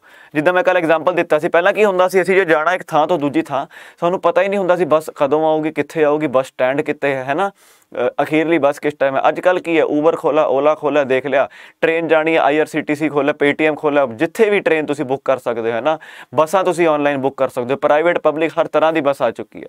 ਤਾਂ ਉਹ ਇਨੋਵੇਸ਼ਨ ਦੀ ਗੱਲ ਹੋਈ ਹੈ ਆਬਵੀਅਸਲੀ ਇੱਧਰ ਪ੍ਰਾਈਵੇਟ ਵਾਲੀ ਗੱਲ ਨਹੀਂ ਹੋਗੀ ਇੱਧਰ ਸਰਕਾਰੀ ਹਿਸਾਬ ਕਿਤਾਬ ਹੈ ਵੀ ਕਿਹੜੀ ਸਟੇਟ ਨੇ ਮੰਨ ਲਓ ਕੁਝ ਪ੍ਰੋਬਲਮ ਆਈ ਹੈ ਵਾਟਰ ਪਾਣੀ ਦੀ ਪ੍ਰੋਬਲਮ ਆ ਰਹੀ ਹੈ। ਕਹਿੰਦੇ ਬਹੁਤ ਜ਼ਿਆਦਾ ਪਾਣੀ ਦੀ ਕਿੱਲਤ ਹੋ ਰਹੀ ਹੈ, ਕੀ ਕਰੇ? ਤਾਂ ਕਿਸੇ ਨੇ ਵਾਟਰਸ਼ੈਡ ਮੈਨੇਜਮੈਂਟ ਵਾਲਾ ਹਿਸਾਬ ਕਿਤਾਬ ਕਰਤਾ ਹੋਵੇ, ਡਰਮ ਉਹ ਟੈਂਕ ਟੁੰਗ ਬਣਾਤੇ ਹੋਣ ਜਿੱਥੇ ਤੁਸੀਂ ਪਾਣੀ ਪੂਣੀ ਸਟੋਰ ਕਰ ਸਕੋ। ਅੱਗੇ ਜਾ ਕੇ ਜਿੱਦਾਂ ਵਰਲਡ ਬੈਂਕ ਨੇ ਇੱਕ ਰੇਨਫੈਡ ਐਗਰੀਕਲਚਰ ਉੱਤੇ ਇੱਕ ਵਾਟਰਸ਼ੈਡ ਮੈਨੇਜਮੈਂਟ ਲਈ ਪੈਸੇ ਦਿੱਤੇ ਨੇ ਕਿਨੂੰ ਉੱਤਰਾਖੰਡ ਦੀ ਸਰਕਾਰ, ਉੱਤਰਾਖੰਡ ਜ਼ਿਲ੍ਹੇ ਨੂੰ, ਜ਼ਿਲ੍ਹਾ ਕਹਿ ਰਿਹਾ, ਉੱਤਰਾਖੰਡ ਸਟੇਟ ਨੂੰ ਦਿੱਤੇ ਨੇ। ਤਾਂ ਮਤਲਬ ਜਿੱਥੇ ਕੋਈ ਲੋੜ ਦੀ ਚੀਜ਼ ਆਈ ਹੈ ਕਿ ਯਾਰ ਸਰਕਾਰ ਨੂੰ ਮਤਲਬ ਕੁਝ ਇਨੋਵੇਸ਼ਨ ਇਨੋਵੇਟਿਵ ਆਈਡੀਆ ਕਰਨ ਨੂੰ ਮਿਲਾ ਤਾਂ ਉੱਥੇ। ਐਕਸਾਈਜ਼ ਵਾਲੇ ਤਾਂ ਫੈਨ ਨੇ ਜੀ। सर जी साइड हो जाओ नहीं नहीं पीडीएफ में मिल जाएगी ऐसी कोई गल नहीं यार चलो ਤਾਂ ਜੀ SBI ਨੇ ਲਾਂਚ ਕਰਤੀ WhatsApp banking services to make banking easier for the customers ਪਤਾ ਨਹੀਂ, ਮੈਨੂੰ ਨਹੀਂ ਲੱਗਦਾ। ਦੇਖੋ, ਭਰੋਸਾ ਮੈਨੂੰ ਜਮਾ ਹੀ ਹੈ ਨਹੀਂ SBI ਵਾਲਿਆਂ ਤੇ। ਕਰਤਾ ਦਿੱਤੀ ਇਹਨਾਂ ਨੇ, ਪਤਾ ਲੱਗਿਆ ਇਹਨਾਂ ਦੇ ਜਿਹੜੇ AI ਹੈ, ਇਹ ਜਿਹੜਾ ਬੋਟ ਲਾਇਆ ਇਹਨਾਂ ਨੇ ਚੈਟ ਬੋਟ ਲਾਇਆ ਇਹਨਾਂ ਨੇ। ਤਾਂ ਚੈਟ ਬੋਟ ਤੋਂ ਮੈਨੂੰ ਯਾਦ ਆ ਜਾਂਦਾ ਹਮੇਸ਼ਾ ਚੈਟ ਬੋਟ ਤੋਂ। ਤਾਂ ਇੱਕ Google ਦਾ ਇੱਕ ਚੈਟ ਬੋਟ ਬਣਾਉਂਦਾ ਸੀਗਾ। ਹੁਣ ਚੈਟ ਬੋਟ ਹੈ ਤਾਂ Google ਦਾ ਇੱਕ AI ਹੈ ਆਰਟੀਫੀਸ਼ੀਅਲ ਇੰਟੈਲੀਜੈਂਟ ਰੋਬੋਟ ਸੀਗਾ, ਜਿਹਦਾ ਨਾਮ ਸੀ ਲੈਮਡਾ ਜਿਹੜਾ ਇਹੋ ਜਿਹੇ ਚੈਟ ਬੋਟ ਬਣਾਉਂਦਾ ਸੀ। ਚੈਟ ਬੋਟ ਦਾ ਮਤਲਬ ਕੀ ਹੁੰਦਾ? ਹੁਣ ਜੇ ਤੁਸੀਂ SBI ਦਾ ਇਹ ਨੰਬਰ ਹੈ 902269 ਠੀਕ ਹੈ 9022690226 ਤਾਂ ਇਹ ਨੰਬਰ ਤੇ ਤੁਸੀਂ ਮੈਸੇਜ ਕਰੋਗੇ ਤਾਂ ਤੁਹਾਨੂੰ ਚਾਰ ਪੰਜ ਆਪਸ਼ਨ ਆਉਂਦੇ ਨੇ 1 ਦਬਾਏ ਲੌਗਇਨ के लिए 2 ਦਬਾਏ ਇਹ ਕਰਨੇ के लिए 3 ਦਬਾਏ ਲੰਚ के लिए ਜੋ ਕੁਝ ਵੀ ਠੀਕ ਹੈ ਤਾਂ ਫਿਰ ਉਹ ਆਪਣੇ ਆਪ ਰਿਪਲਾਈ ਕਰਦੇ ਆ ਤਿੰਨ ਚਾਰ ਫਿਰ ਬਾਅਦ ਚ ਪੁੱਛਦੇ ਆ ਤੁਸੀਂ ਗੱਲਬਾਤ ਕਰਨੀ ਕਿਸੇ ਨਾਲ ਕਿ ਨਹੀਂ ਤਾਂ ਇਹ ਜਿਹੜੇ ਆਟੋਮੈਟਿਕ ਰਿਪਲਾਈ ਹੁੰਦੇ ਆਟੋਮੈਟਿਕ ਰਿਪਲਾਈ ਜਿਹੜਾ WhatsApp ਤੇ ਹੁੰਦੇ ਨੇ ਜਾਂ ਫਿਰ ਕਿਤੇ ਵੀ ਹੁੰਦੇ ਨੇ ਉਹਨੂੰ ਕਹਿੰਦੇ ਨੇ ਚੈਟਬੋਟ ਤੇ ਆਰਟੀਫੀਸ਼ੀਅਲ ਇੰਟੈਲੀਜੈਂਸ ਬਣਾਇਆ ਸੀਗਾ, ਇੱਕ ਰੋਬੋਟ ਬਣਾਇਆ ਸੀ ਗੂਗਲ ਨੇ ਲੈਮਡਾ ਜਿਹੜਾ ਕਿ ਆਪਣੇ ਆਪ ਸੋਚਣ ਲੱਗਿਆ ਸੀ, ਜ਼ਿਆਦਾ ਤੇਜ਼ ਹੋ ਗਿਆ ਸੀ ਟਰਮੀਨੇਟਰ ਬਣਨ ਲੱਗਾ ਸੀ। ਤਾਂ ਉਹਨੂੰ ਖਤਮ ਕਰਤਾ ਇਹਨਾਂ ਨੇ। ਤਾਂ SBI ਨੇ ਲਾਂਚ ਕੀਤਾ WhatsApp ਬੈਂਕਿੰਗ ਸਰਵਿਸਿਜ਼ ਕਹਿੰਦੇ ਤੁਹਾਡੀ ਬੈਂਕਿੰਗ ਨੂੰ ਸੌਖਾ ਬਣਾਉਣ ਕੇ ਲਈ ਤਾਂ ਬਸ ਉਹੀ ਹੈ, ਕਹਿੰਦੇ ਸੌਖਾ ਹੋ ਜਾਊਗਾ ਡਾਊਨਲੋਡ ਕਰ ਲਓ, ਕਹਿੰਦੇ ਬਸ ਐਸ਼ ਕਰੋ। SBI ਬਾਰੇ ਆਬਵੀਅਸਲੀ ਗੱਲ ਹੈ ਇੰਪੋਰਟੈਂਟ ਗੱਲਾਂ ਬਹੁਤ ਜ਼ਿਆਦਾ ਨੇ। ਤਿੰਨ ਬੈਂਕਾਂ ਤੋਂ ਰਲ ਕੇ ਬਣਾਏ bank of Madras, bank of Bombay bank of Calcutta ਤੋਂ ਜਾ ਕੇ ਜਦੋਂ 1921 ਵਿੱਚ ਇਹ ਕੀ ਬਣ ਗਿਆ? ਇੰਪੀਰੀਅਲ ਬੈਂਕ ਆਫ ਇੰਡੀਆ ਠੀਕ ਹੈ? 1921 ਵਿੱਚ ਕੀ ਬਣਿਆ ਹੈ ਇੰਪੀਰੀਅਲ ਬੈਂਕ ਆਫ ਇੰਡੀਆ ਤਾਂ ਇਹੀ ਇੰਪੀਰੀਅਲ ਬੈਂਕ ਆਫ ਇੰਡੀਆ ਅੱਗੇ 1955 ਵਿੱਚ ਜਾ ਕੇ ਕੀ ਬਣ ਗਿਆ? SBI ਯਾਨੀ ਕਿ ਸਟੇਟ ਬੈਂਕ ਆਫ ਇੰਡੀਆ ਐਵੇਂ ਨਾ ਕਹੋ, ਜੋ ਅਸੀਂ ਬੈਂਕ ਵਾਲਾ ਹੀ ਜ਼ਿਆਦਾ ਐਸਬੀਆਈ ਉਹ ਮੇਰੇ ਕੋਲ ਵੀ ਐਸਬੀਆਈ ਹੈ ਵੀਰੇ, ਰੁਪਏ ਰੁਪਏ ਵਾਲਾ ਕਾਰਡ ਹੈ ਮੇਰੇ ਕੋਲ, ਮੈਂ ਤਾਂ ਰੋਜ਼ ਗਾਲਾਂ ਕੱਢਦਾ ਇਹਨਾਂ ਨੂੰ, ਕਿਉਂਕਿ ਅੱਧੀ ਥਾਂ ਤੇ ਮੈਂ ਜਾਣਾ ਮਾੜਾ ਕਾਰਡ ਦੇਣਾ ਚੱਲਦਾ ਹੀ ਨਹੀਂ, ਕਿਉਂ? ਪਤਾ ਨਹੀਂ, ਅੱਧੀ ਸਾਈਟਾਂ ਤੇ ਨਹੀਂ ਚੱਲਦਾ, ਬਸ ਇਹੀ, ਐਂ ਹੋ ਜਾਂਦਾ, ਅੱਛਾ ਸਰਵਰ ਡਾਊਨ ਹੋਗਾ ਐ ਥੋੜੀ ਚੱਲਦਾ ਹੁੰਦਾ ਯਾਰ ਕਾਰਡ ਤਾਂ ਹਮੇਸ਼ਾ ਚੱਲੇ। ਤਾਂ ਇਹ ਤੁਹਾਨੂੰ ਉਹੀ ਗੱਲ ਮੈਂ ਦੱਸ ਚੁੱਕਾ। ਤਾਂ ਬੈਂਕ ਆਫ ਮਦਰਾਸ 1843 ਬਣਿਆ, ਬੰਬੇ 40 ਵਿੱਚ, ਕਲਕੱਤਾ 1806 ਇਹ ਤਿੰਨੇ ਰਲ ਕੇ ਐਡ ਹੋ ਕੇ 1921 ਵਿੱਚ ਬਣਾਤਾ ਇੰਪੀਰੀਅਲ ਬੈਂਕ ਆਫ ਇੰਡੀਆ ਫਿਰ 1955 ਇਹਦਾ ਨਾਮ ਰੱਖਤਾ ਕਿ SBI ਯਾਨੀ ਕਿ state bank of India headquarter ਇਹਦਾ ਮੁੰਬਈ ਵਿੱਚ ਹੈ ਤੇ ਪ੍ਰਧਾਨ ਦਾ ਨਾਮ ਯਾਦ ਰੱਖਣਾ ਹੈ ਦਿਨੇਸ਼ ਕੁਮਾਰ ਖਾਰਾ। ਕੌਣ ਖਾਰਾ? ਦਿਨੇਸ਼। ਦਿਨੇਸ਼ ਕਿਆ ਖਾਰਾ? SBI ਦਿਨੇਸ਼ ਕੁਮਾਰ ਖਾਰਾ। ਅਸੀਸ ਕਦੋਂ ਸਟਾਰਟ ਹੋਣੀ ਹੈ? 27 ਜੁਲਾਈ। ਉੱਥੇ ਡੇਟ ਲਿਖੀ ਹੋਈ ਹੈ ਯਾਰ। ਹਾਂ, ਅੱਧੀ ਵਾਰ ਤਾਂ ਯੋਨੋ ਵੀ ਨਹੀਂ ਚੱਲਦੀ, ਹੈ ਨਾ? ਬਿਲਕੁਲ ਸਹੀ ਗੱਲ ਹੈ ਯਾਰ। ਯੋਨੋ ਵੀ ਕਿੱਥੇ ਚੱਲਦੀ ਹੈ?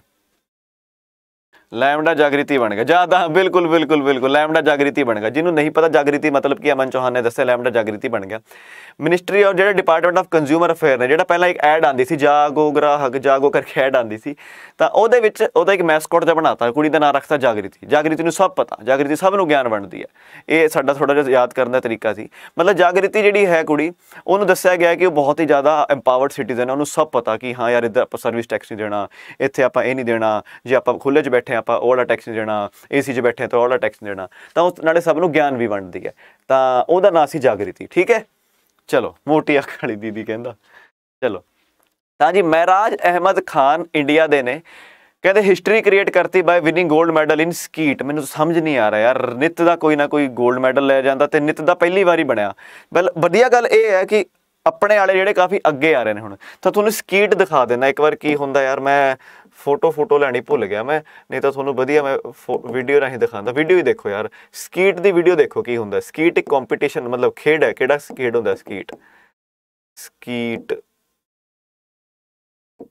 ਗੇਮ ਪਤਾ ਕੋਈ ਹੋਰੀ ਗੇਮ ਆ ਗਈ?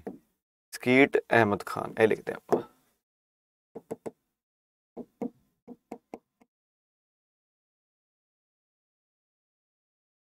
ਚਲੋ ਬਾਅਦ ਚ ਦਿਖਾਉਂਗਾ ਕੱਲ ਦਿਖਾ ਦੂੰਗਾ ਤਾਂ ਕੁਝ ਹੋਰ ਹੀ ਆਣ ਲੱਗ ਗਿਆ।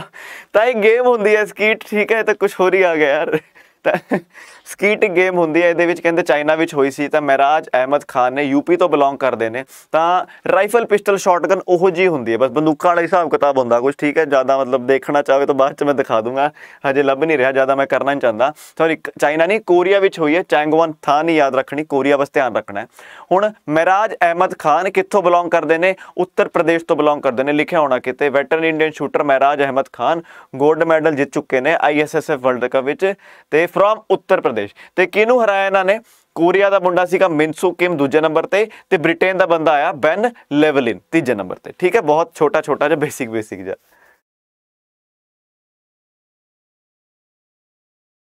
ਸਕੁਇਡ ਗੇਮਸ ਚਲੀ ਜਾਣੀ ਸੀ। ਨਹੀਂ ਨਹੀਂ ਯਾਰ, ਉਹ ਸਕੀਟ ਅੱਡ ਚੀਜ਼ ਹੋਗੀ ਸਕੀਟ। ਚਲੋ, ਠੀਕ ਹੈ।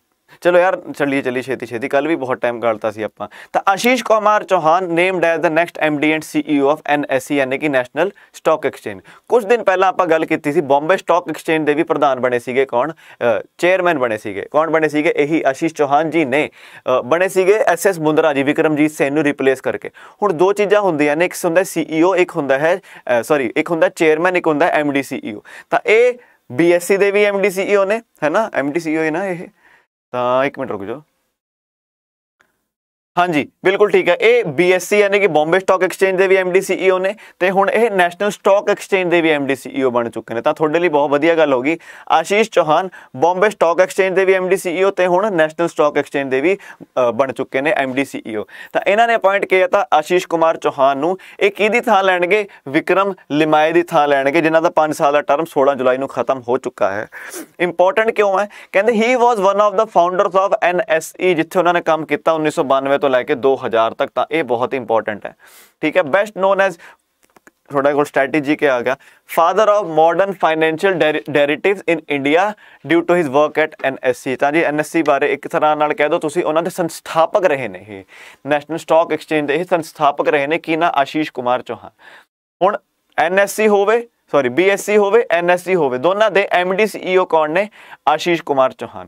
ਰੀਸੈਂਟ ਅਪਾਇੰਟਮੈਂਟ ਦੀ ਗੱਲ ਕਰੀ ਤਾਂ ਬੀਐਸਸੀ ਵਿੱਚ ਕੀ ਸੀ? ਬੀਐਸਸੀ ਵਿੱਚ ਜਿਹੜੇ ਚੇਅਰਮੈਨ ਅਪਾਇੰਟ ਹੋਏ ਨੇ, ਹੁਣ ਚੇਅਰਮੈਨ ਕੌਣ ਅਪਾਇੰਟ ਹੋਏ ਨੇ? ਐਸਐਸ ਮੁੰਦਰਾ, ਕਿਹਦੀ ਥਾਂ ਹੋਏ ਨੇ? ਵਿਕਰਮਜੀਤ ਸੇਨ ਦੀ, ਠੀਕ ਹੈ? ਐਸਐਸ ਮੁੰਦਰਾ ਅਪਾਇੰਟ ਹੋਏ ਨੇ, ਕਿਹਦੀ ਥਾਂ ਹੋਏ ਨੇ? ਵਿਕਰਮਜੀਤ ਸੇਨ ਦੀ। ਉਦਾਂ ਹੀ ਇੱਥੇ ਐਨਐਸਈ ਹੈ, ਇੱਥੇ ਚੇਅਰਪਰਸਨ ਕੌਣ ਹੈ? ਗਿਰੀਸ਼ ਚੰਦਰ ਚਤੁਰਵੇਦੀ, ਠੀਕ ਹੈ? ਇਹ ਮੈਂ ਤੁਹਾਨੂੰ ਜ਼ੂਮ ਕਰ ਦੇਣਾ ਥੋੜਾ ਜਿਹਾ। ਐਨਐਸਸੀ ਬਾਰੇ ਆ ਕੀ ਹੋ ਗਿਆ?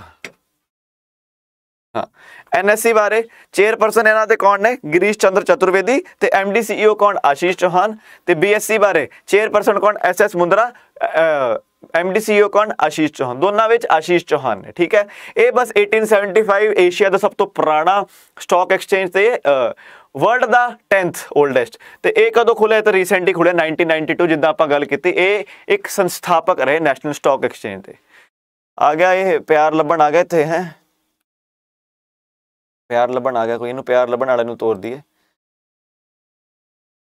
ਚਲੋ, ਅੱਛਾ 50 ਹੋ ਗਿਆ ਤਾਂ ਯਾਦ ਨਹੀਂ ਰਹਿੰਦਾ। ਚਲੋ ਯਾਰ, ਹੁਣ ਰਿਵੀਜ਼ਨ ਕਰ ਲੈਨੇ ਆਪਾਂ, ਠੀਕ ਹੈ? ਰਿਵੀਜ਼ਨ ਕਰ ਲੈਨੇ ਆਪਾਂ ਰਿਵੀਜ਼ਨ ਜਦੋਂ ਥੋੜੀ ਜ਼ਿਆਦਾ ਜ਼ਰੂਰੀ ਹੋ ਜਾਂਦੀ ਹੈ। ਤਾਂ ਰਿਵੀਜ਼ਨ ਕਰ ਲੈਨੇ ਕੱਲ ਵੀ ਰਹਿ ਗਈ ਸੀ, ਇਸ ਅੱਜ ਵੀ ਰਹਿ ਗਈ ਸੀ। ਨਹੀਂ ਯਾਰ ਰਿਵੀਜ਼ਨ ਤਾਂ ਕਰ ਲੂੰਗੇ ਸਮਾਰਟ ਸਿਟੀ ਕਰਾਣੀ ਹੈ ਮੈਂ ਤੁਹਾਨੂੰ ਯਾਰ। ਅੱਜ ਦੀ ਸਕੀਮ ਕਰਕੇ ਫਿਰ ਰਿਵੀਜ਼ਨ ਕਰਦੇ ਅੱਜ ਦੀ ਸਕੀਮ ਕਰਕੇ ਫਿਰ ਰਿਵੀਜ਼ਨ ਕਰਦੇ ਤਾਂ ਸਮਾਰਟ ਸਿਟੀ ਮਿਸ਼ਨ ਅੱਜ ਦੀ ਸਕੀਮ ਰਹਿ ਗਈ ਸੀ, ਤੁਸੀਂ ਯਾਦ ਵੀ ਤਾਂ ਕਰਾ ਦਿਆ ਕਰੋ ਯਾਰ। ਚਲੋ, ਤਾਂ ਸਮਾਰਟ ਸਿਟੀ ਮਿਸ਼ਨ ਬਾਰੇ ਗੱਲ ਕਰਦੇ ਆ ਸੈਂਟਰਲੀ ਸਪਾਂਸਰਡ ਸਕੀਮ ਹੈ, ਠੀਕ ਹੈ ਲਾਂਚ ਕੀਤੀ ਜੂਨ 2015 ਨੂੰ। ਕਹਿੰਦੇ ਪੂਰੇ ਇੰਡੀਆ ਵਿੱਚ ਆਪਾਂ 100 ਸ਼ਹਿਰ ਲੱਭਣੇ ਇਹੋ ਜੇ 100 ਸ਼ਹਿਰ ਲੱਭਣੇ ਵੀ ਆਪਾਂ ਉਹਨਾਂ ਦਾ ਬੇਸਿਕ ਇਨਫਰਾਸਟ੍ਰਕਚਰ ਜਿਹੜਾ ਹੈ ਨਾ, ਉਹਨੂੰ ਆਪਾਂ ਵਧੀਆ ਕਰੀਏ।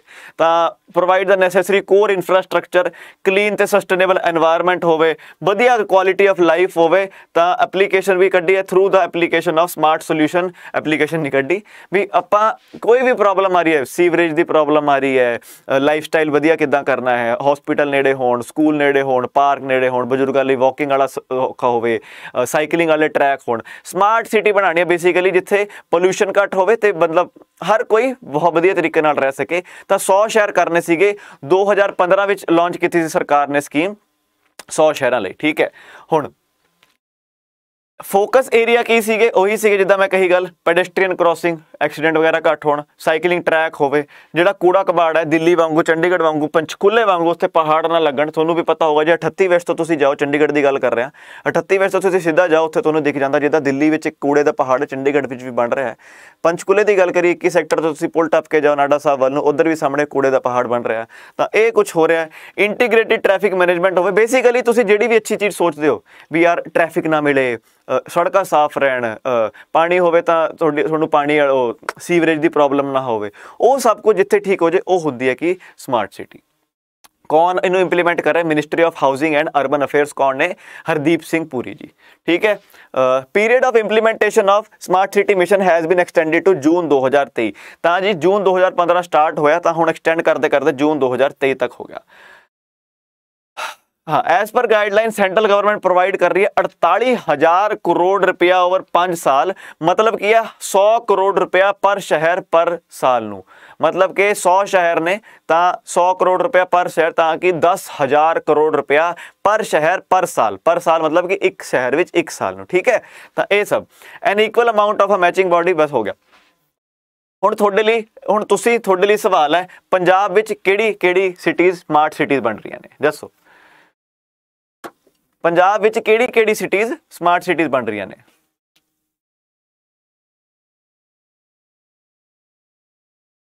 ਸਭ ਜਲਾਲਾਬਾਦ ਤੋਂ ਆਏ ਹੋਏ। ਤਾਂ ਜੀ ਤੁਹਾਨੂੰ ਦੱਸ ਦੇਣਾ ਮੈਂ, ਪੰਜਾਬ ਵਿੱਚ ਤਿੰਨ ਸਿਟੀ ਨੇ ਜਿਨ੍ਹਾਂ ਦਾ ਨਾਂ ਲਿਆ ਗਿਆ। ਮੋਦੀ ਨੇ ਦੱਸਿਆ ਕਿ ਇਹਨਾਂ ਨੂੰ ਆਪਾਂ ਸਮਾਰਟ ਸਿਟੀ ਬਣਾਉਂਗੇ। ਉਹ ਹੋ ਜਾਂਦੀ ਹੈ, ਇੱਕ ਹੈ ਅੰਮ੍ਰਿਤਸਰ, ਇੱਕ ਹੈ ਜਲੰਧਰ ਤੇ ਇੱਕ ਹੈ ਲੁਧਿਆਣਾ। ਇਹ ਤੁਹਾਡੇ ਪਤਾ ਨਹੀਂ ਕਿਸੇ ਪੇਪਰ ਵਿੱਚ ਵੀ ਆਇਆ ਹੋਇਆ, ਮੈਨੂੰ ਪੇਪਰ ਯਾਦ ਨਹੀਂ ਕਿਹੜੇ ਪੇਪਰ ਵਿੱਚ ਆਇਆ ਹੋਇਆ ਬਟ ਤੁਹਾਨੂੰ ਧਿਆਨ ਰੱਖਣਾ ਪੈਣਾ। ਅੰਮ੍ਰਿਤਸਰ, ਜਲੰਧਰ ਤੇ ਲੁਧਿਆਣਾ, ਇਹ ਤਿੰਨ ਜਿਹੜੇ ਸ਼ਹਿਰ ਨੇ ਸੌਰੀ ਸਿਟੀ ਸਿਟੀਜ਼ ਡਿਸਟ੍ਰਿਕਟ ਨਹੀਂ ਸਿਟੀ ਹੁਣ ਡਿਸਟ੍ਰਿਕਟ ਦਾ ਨਾਮ ਹੈ ਤਾਂ ਆਪਾਂ ਕੁਝ ਨਹੀਂ ਕਰ ਸਕਦੇ। ਤਾਂ ਇਹ ਤਿੰਨ ਜਿਹੜੇ ਸ਼ਹਿਰ ਨੇ, ਅੰਮ੍ਰਿਤਸਰ, ਜਲੰਧਰ ਤੇ ਲੁਧਿਆਣਾ, ਚੰਡੀਗੜ੍ਹ ਕਿੱਥੋਂ ਆ ਗਿਆ ਯਾਰ? ਅੰਮ੍ਰਿਤਸਰ, ਜਲੰਧਰ ਤੇ ਲੁਧਿਆਣਾ ਇਹ ਤਿੰਨ ਸਿਟੀਜ਼ ਨੇ ਜਿਨ੍ਹਾਂ ਨੂੰ ਆਪਾਂ, ਜਿਨ੍ਹਾਂ ਨੂੰ ਨੈਸ਼ਨਲ ਇਹ ਜਿਹੜਾ ਸਮਾਰਟ ਸਿਟੀ ਮਿਸ਼ਨ ਉਹਦੇ ਅੰਦਰ ਰੱਖਿਆ ਗਿਆ, ਠੀਕ ਹੈ?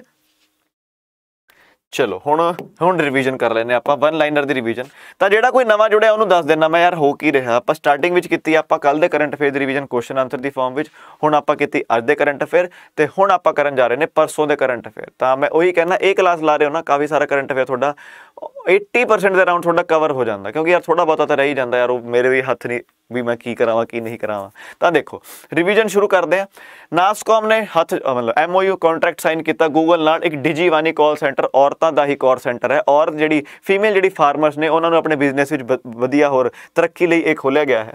ਵਰਲਡ ਦੀ ਗ੍ਰੇਟੈਸਟ ਪਲੇਸਿਸ ਵਿੱਚ ਨਾ ਆਇਆ ਹੈ, ਤਾਂ ਜੀ ਕੇਰਲਾ ਦੀ ਰੈਂਕ ਆਈ ਹੈ 9th ਅਹਮਦਾਬਾਦ ਦੀ ਰੈਂਕ ਆਈ ਹੈ 11ਵੀਂ ਕੇਰਲਾ ਪਹਿਲੀ ਸਟੇਟ ਆਪਣਾ ਓਨ ਇੰਟਰਨੈਟ ਸਰਵਿਸ ਕੱਢ ਰਹੀ ਹੈ। ਕੇਰਲਾ ਫਾਈਬਰ ਆਪਟਿਕ ਨੈਟਵਰਕ ਕਰਕੇ 2019 ਵਿੱਚ ਹੀ ਲਾਂਚ ਕਰਤਾ ਸੀ ਇਹਨਾਂ ਨੇ।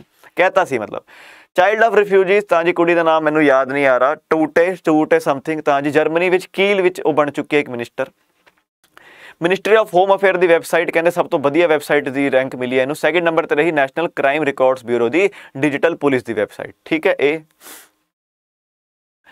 ਆਈਐਨਐਸ ਸਿੰਧੂ ਧਵਜ, ਇਹ ਡੀ ਕਮਿਸ਼ਨ ਹੋ ਚੁੱਕੇ 35 ਸਾਲ ਦੀ ਸਰਵਿਸ ਤੋਂ ਬਾਅਦ। 에ਅਰ ਫੋਰਸ ਡੇ ਪਰੇਡ ਹੋਊਗੀ ਕਿੱਥੇ? ਇਸ ਵਾਰ ਚੰਡੀਗੜ੍ਹ ਵਿੱਚ ਹੋਊਗੀ। ਇਹ ਤੋਂ ਪਹਿਲਾਂ ਹਿੰਡਨ 에ਅਰਬੇਸ ਗਾਜ਼ੀਆਬਾਦ ਵਿੱਚ ਹੁੰਦੀ ਸੀਗੀ 2006 ਤੋਂ। ਉਹ ਤੋਂ ਪਹਿਲਾਂ ਪਾਲਮ 에ਅਰਬੇਸ ਵਿੱਚ ਹੁੰਦੀ ਸੀ ਦਿੱਲੀ ਵਿੱਚ। ਅਨਰਾਗ ਠਾਕੁਰ ਨੇ ਲਾਂਚ ਕੀਤਾ ਪ੍ਰੋਮੋ ਇੱਕ ਦੂਰਦਰਸ਼ਨ ਤੇ ਸੀਰੀਅਲ ਆਊਗਾ।